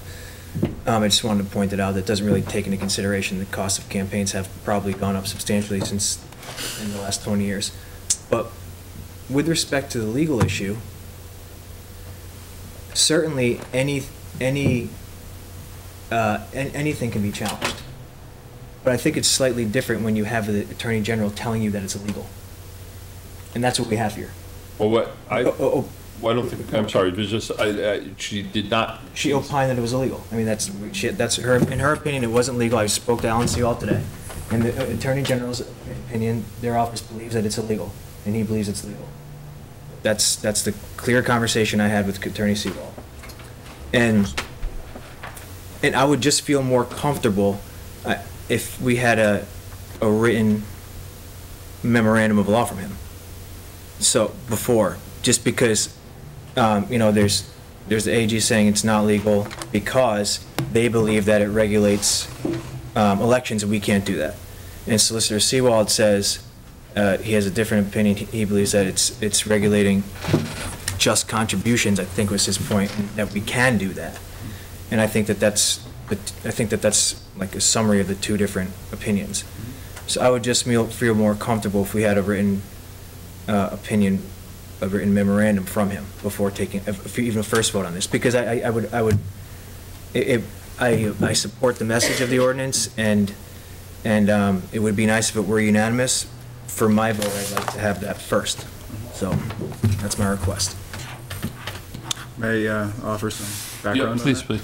Um, I, I understand that sentiment completely, and I think um, what's at play here is the difference between a town and a city.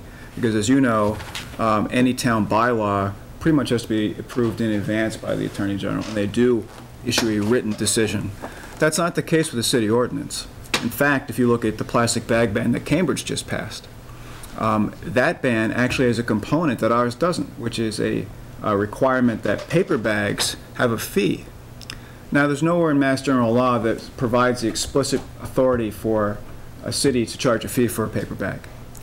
But until uh, a court determines otherwise, then within the, the context of, of the Home Rule Act and the other restrictions that cities have, um, the Attorney General, and it's not the Attorney General herself, of course, it's, it's Margaret Hurley, Director of Municipal Law of the Municipal Law Unit, who is offering kind of advisory kind of guidance. It's not a written opinion saying, no, this is, this would be overturned. Until uh, you have something like that, or you have a decision by a court, then I think we are very much empowered, and not just empowered, um, we, we should be enacting ordinances that are in the best interest of the city. Um, I actually think that um, if it's dangerous, although I understand the need to be cautious, I think it's dangerous to read um, the Home Rule Act too narrowly. Um, And I think actually, uh, the solicitor's opinion, it's not a full memo, but the substance is pretty well fleshed out, which is, and actually Councilor Barge pretty much summed it up well, I think. Um, There are ex- explicit exemptions under the Home Rule Act, that- things that we can't do as a city, and elections is one of them. But this is not an elections issue, it's a campaign finance issue. Look at our zoning law. In our zoning law, we have regulations about how big a lawn sign can be.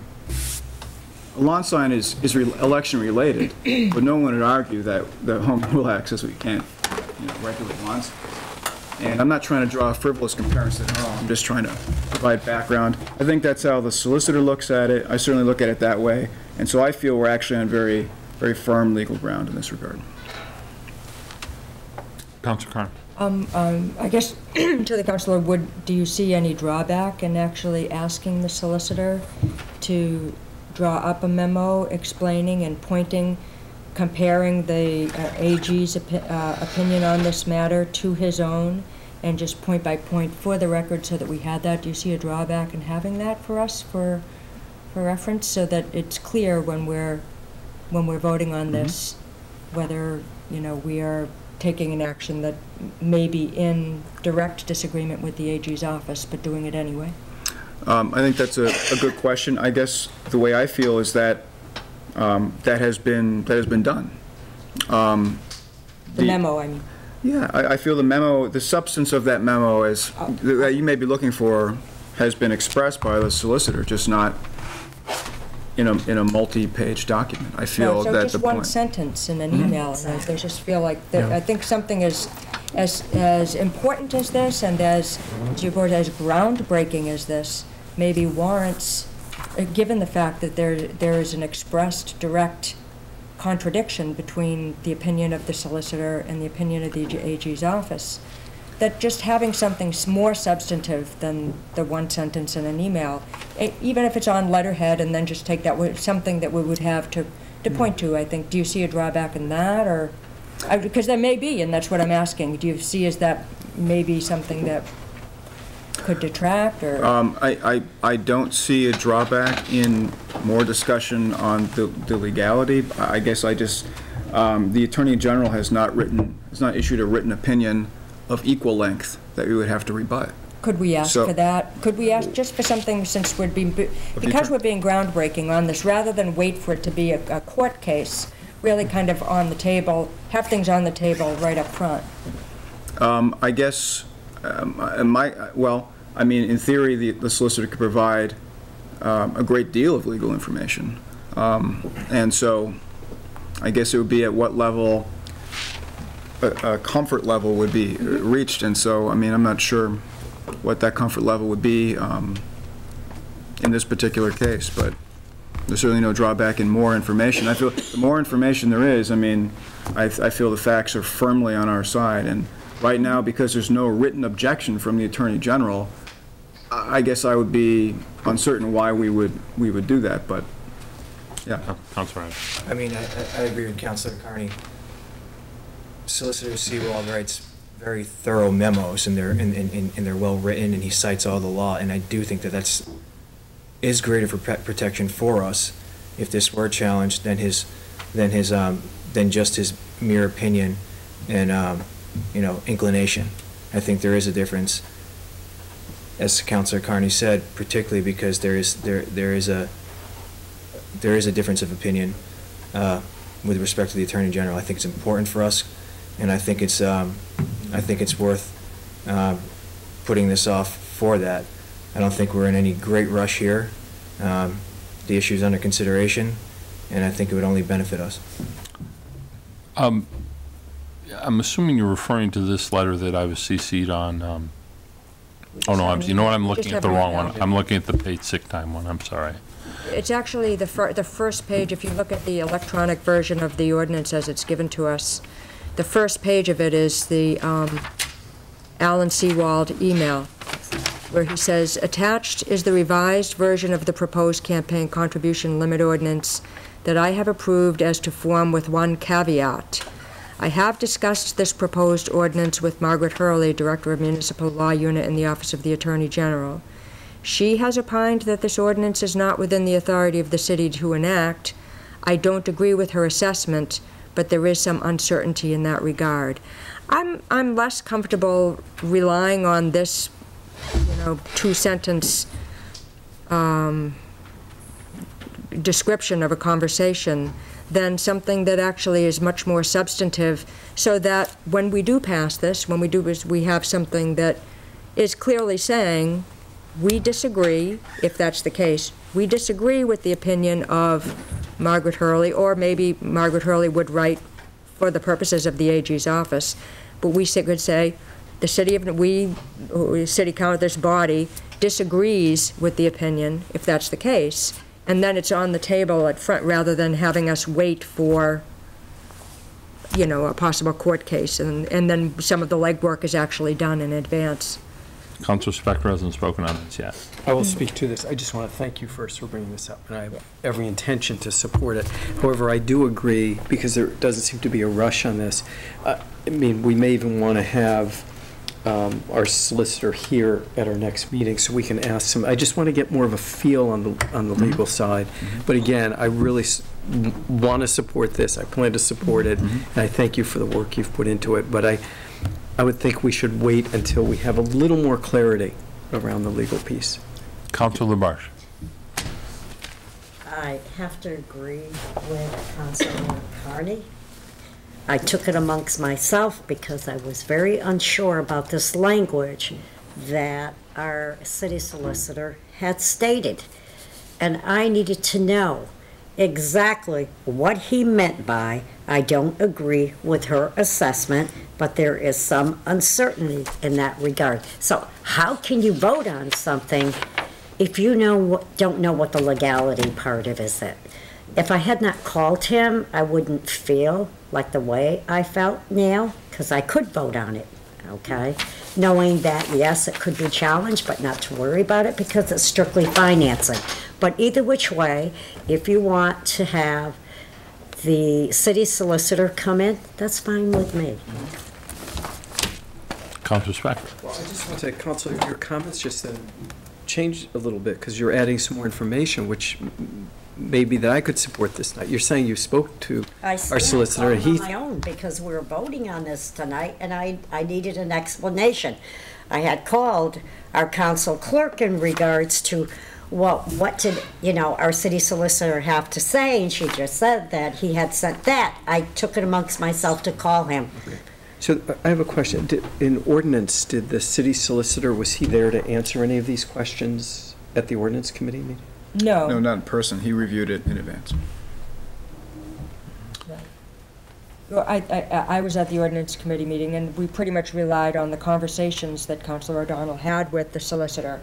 At that time, I said, you know, I'd be a little bit more comfortable with a memo or something, or hadn't seen that, uh-huh. but I think we decided to go ahead and let this come to the full council for some discussion about where we would, where we, where we would take this from there. Uh, Councilor Adams and then Councilor Spector. In, in my conversation with him today, he, it was very similar to what you wrote in the memo, just, we had maybe a ten-minute conversation. He said, he said, I'm not certain that this is legal. He said, I, I think it is. They think it's not. You never know till the person with the robe decides. That's what he said. So, I mean, you know, I, it, But uh, Councilor O'Donnell, you want to respond to that point? I, I would like to respond to that point. Um, I, I certainly wasn't in the conversation we had with the solicitor, but I'd be surprised if he said, I don't know if it's legal. Um, the, fact is that, um, it's presumed that this is something we can do until a court says otherwise. Again, no city or town has done this, so it is not a risk of doing something illegal. I, I just want to be clear about that, um, fully, um, understanding the, the, the need for more information, um, from some if that's, if that's what they want, but we're not proposing to do anything illegal, and the solicitor doesn't believe that this is possibly illegal. It's not a risk that it's illegal. Councilor Adams, respond to that. Now, fortunately, I was taking notes during the conversation, and I'll mm-hmm. tell you exactly what he said. He's not certain it would stand legal scrutiny. Now, if you want to make a distinction between that and it might not be legal, you can go ahead, but that's what he said. I do. So I would like an opinion from him. I mean, that, that's my perspective. Now, Councilor Spector. So I'm going to make a motion that we table this till, till the next meeting. Second. Motion's made and table, to table, there is no uh, debate. So roll call on the motion to table till the next meeting. Councilor Carney, Uh, yes. Councilor Dwight, No. Councilor Klein, No. Councilor Labarge. No. Councilor O'Donnell, No. Councilor Sciarra. No. Councilor Spector, Yes. Councilor Adams. Yes. The motion fails. Um, So we're back to the regular order. Um, One of the things I can suggest, of course, is that none of these things, tabling it doesn't, pre- uh, the absence of a table doesn't preclude the solicitation of an opinion. So we can. Or coming back at second. Or coming back at second reading, that's exactly right, so that we can have, we can have asked the solicitor to. Could, would you do that? I I request that you That's do that. good. Yep, so I, I will ask the solicitor for a more fleshed out formal opinion. Oh, I meant the Attorney General. I wanted your, no. You want me to go ask the Attorney General? I'm just kidding. I mean, i- i- the Attorney General's, uh, the transmissions that I've been subject, that I've had an opportunity to read from the Attorney General's uh, office is that they're kind of reluctant to actually opine on the issue. I meant the city They, solicitor. they, they have sort of said, and they brought up a precedent case, it- which I'm inclined to agree with the solicitor based on reading it is, it- that there's no corollary. I understand what she's sort The of saying, is the solicitor. so and my guess is that he will, in, in the process of developing them, follow up with Attorney Hurley and we'll see. So, um, I will, so knowing that I will make a request of, of the solicitor to present us with a formal memo describing his concerns, if any, and his interpretation of how this might present. Um, Uh, That's, again, Just to be clear, could you ask him to contrast his opinion between the Attorney General's office, as he understands it, just from the information he's received from the AG's office, and his? That would be a more thorough memo, just to show, this is what the Attorney General's office has said regarding this matter. This is my Okay. I opinion. will- This is yeah, it. all That- right. That would be more helpful for me. um, that said, we're now, uh, Councilor Klein, you haven't spoken on this issue yet. I just have a question for Councilor, all the councilors that co-sponsored this. Do, we don't have any precedents throughout the state of Massachusetts of any other city, small or large, that has taken on a similar kind of uh, ordinance? Well, the one similar ordinance, which is not quite the same kind of area of law, is Somerville, which um, has a distinction for developers. It's more part of their zoning code. So if you want to get a, a permit in Somerville and you're a developer, you, you have, you have special restrictions. of But in terms of campaign finance reform, we have not seen anything like this in any city in Massachusetts yet. Exactly, yeah. Yeah, and the Somerville, some, uh, developers are precluded from donating. They have to register and then they're precluded from donating, uh, there's a cap. So, uh, um, so that was a special financing law that was created, which would probably be more relevant uh, to financing as opposed to elections, but there's no other, there's, um, no other precedent so far. I just, I, I find the um, Attorney General's office uh, opinion a little bit odd because um, there are many precedents, not in Massachusetts albeit, but there are many precedents of cities around the United States that in fact have passed similar kinds of legislate, pieces of legislation and um, that may be not in accordance with what the state has set out as the, the campaign finance limits. So um, I can't imagine that Massachusetts is going to be different in that sense. Yeah, uh, if I may, I, I agree, and to that point, one of the benefits of what we're doing is that we may expand what the city, what its acknowledged cities and towns can do. Wouldn't that be a good outcome as well? To do that and have other cities follow suit if they want. It could be wonderful if Northampton could be a precedent setter in this regard. I know. I agree. Call a question? Call on the question. Okay. Uh, Roll call, please. Councilor Dwight? Yes. Councilor Klein? Yes. Councilor Labarge? Yes. Councilor O'Donnell? Yes. Councilor Sciarra? Yes. Councilor Spector? Yes. Councilor Adams? Yes. Councilor Carney? Yes. Passes uh, unanimously in first reading, and it will be subject to uh, another vote on our first meeting in May, and uh, hopefully with a memo from the solicitor predating that, and we'll have an opportunity to review that. Thank you. Oh, boy, my battery is dying fast, so thank God we're getting near the end. This is, uh, personal battery or? Well, no, no, no, my personal battery is good for another three hours if you, um, the, this is an ordinance pertaining to city trees, and this is to refer to, uh, the Committee on Rules, Ordinance, Appointments, and Ordinances, uh, Planning, and the Northampton Public, uh, Shade Tree Commission for their first order of business. Second. Motion's been made and seconded for referral. Any discussion on the referral? All those in favor, please say aye. Aye. Any opposed? Any abstentions? Okay, I have no updates. There's no information requests. Uh, no, no new business. I'm, I'm not sure why public comments at the end of this. You have listed on the agenda. Motion to adjourn. There's been a motion made to adjourn. Is there a second? All those in favor, please say aye. Aye. Any opposed? Thank you all very much. Have a great night. Thank you.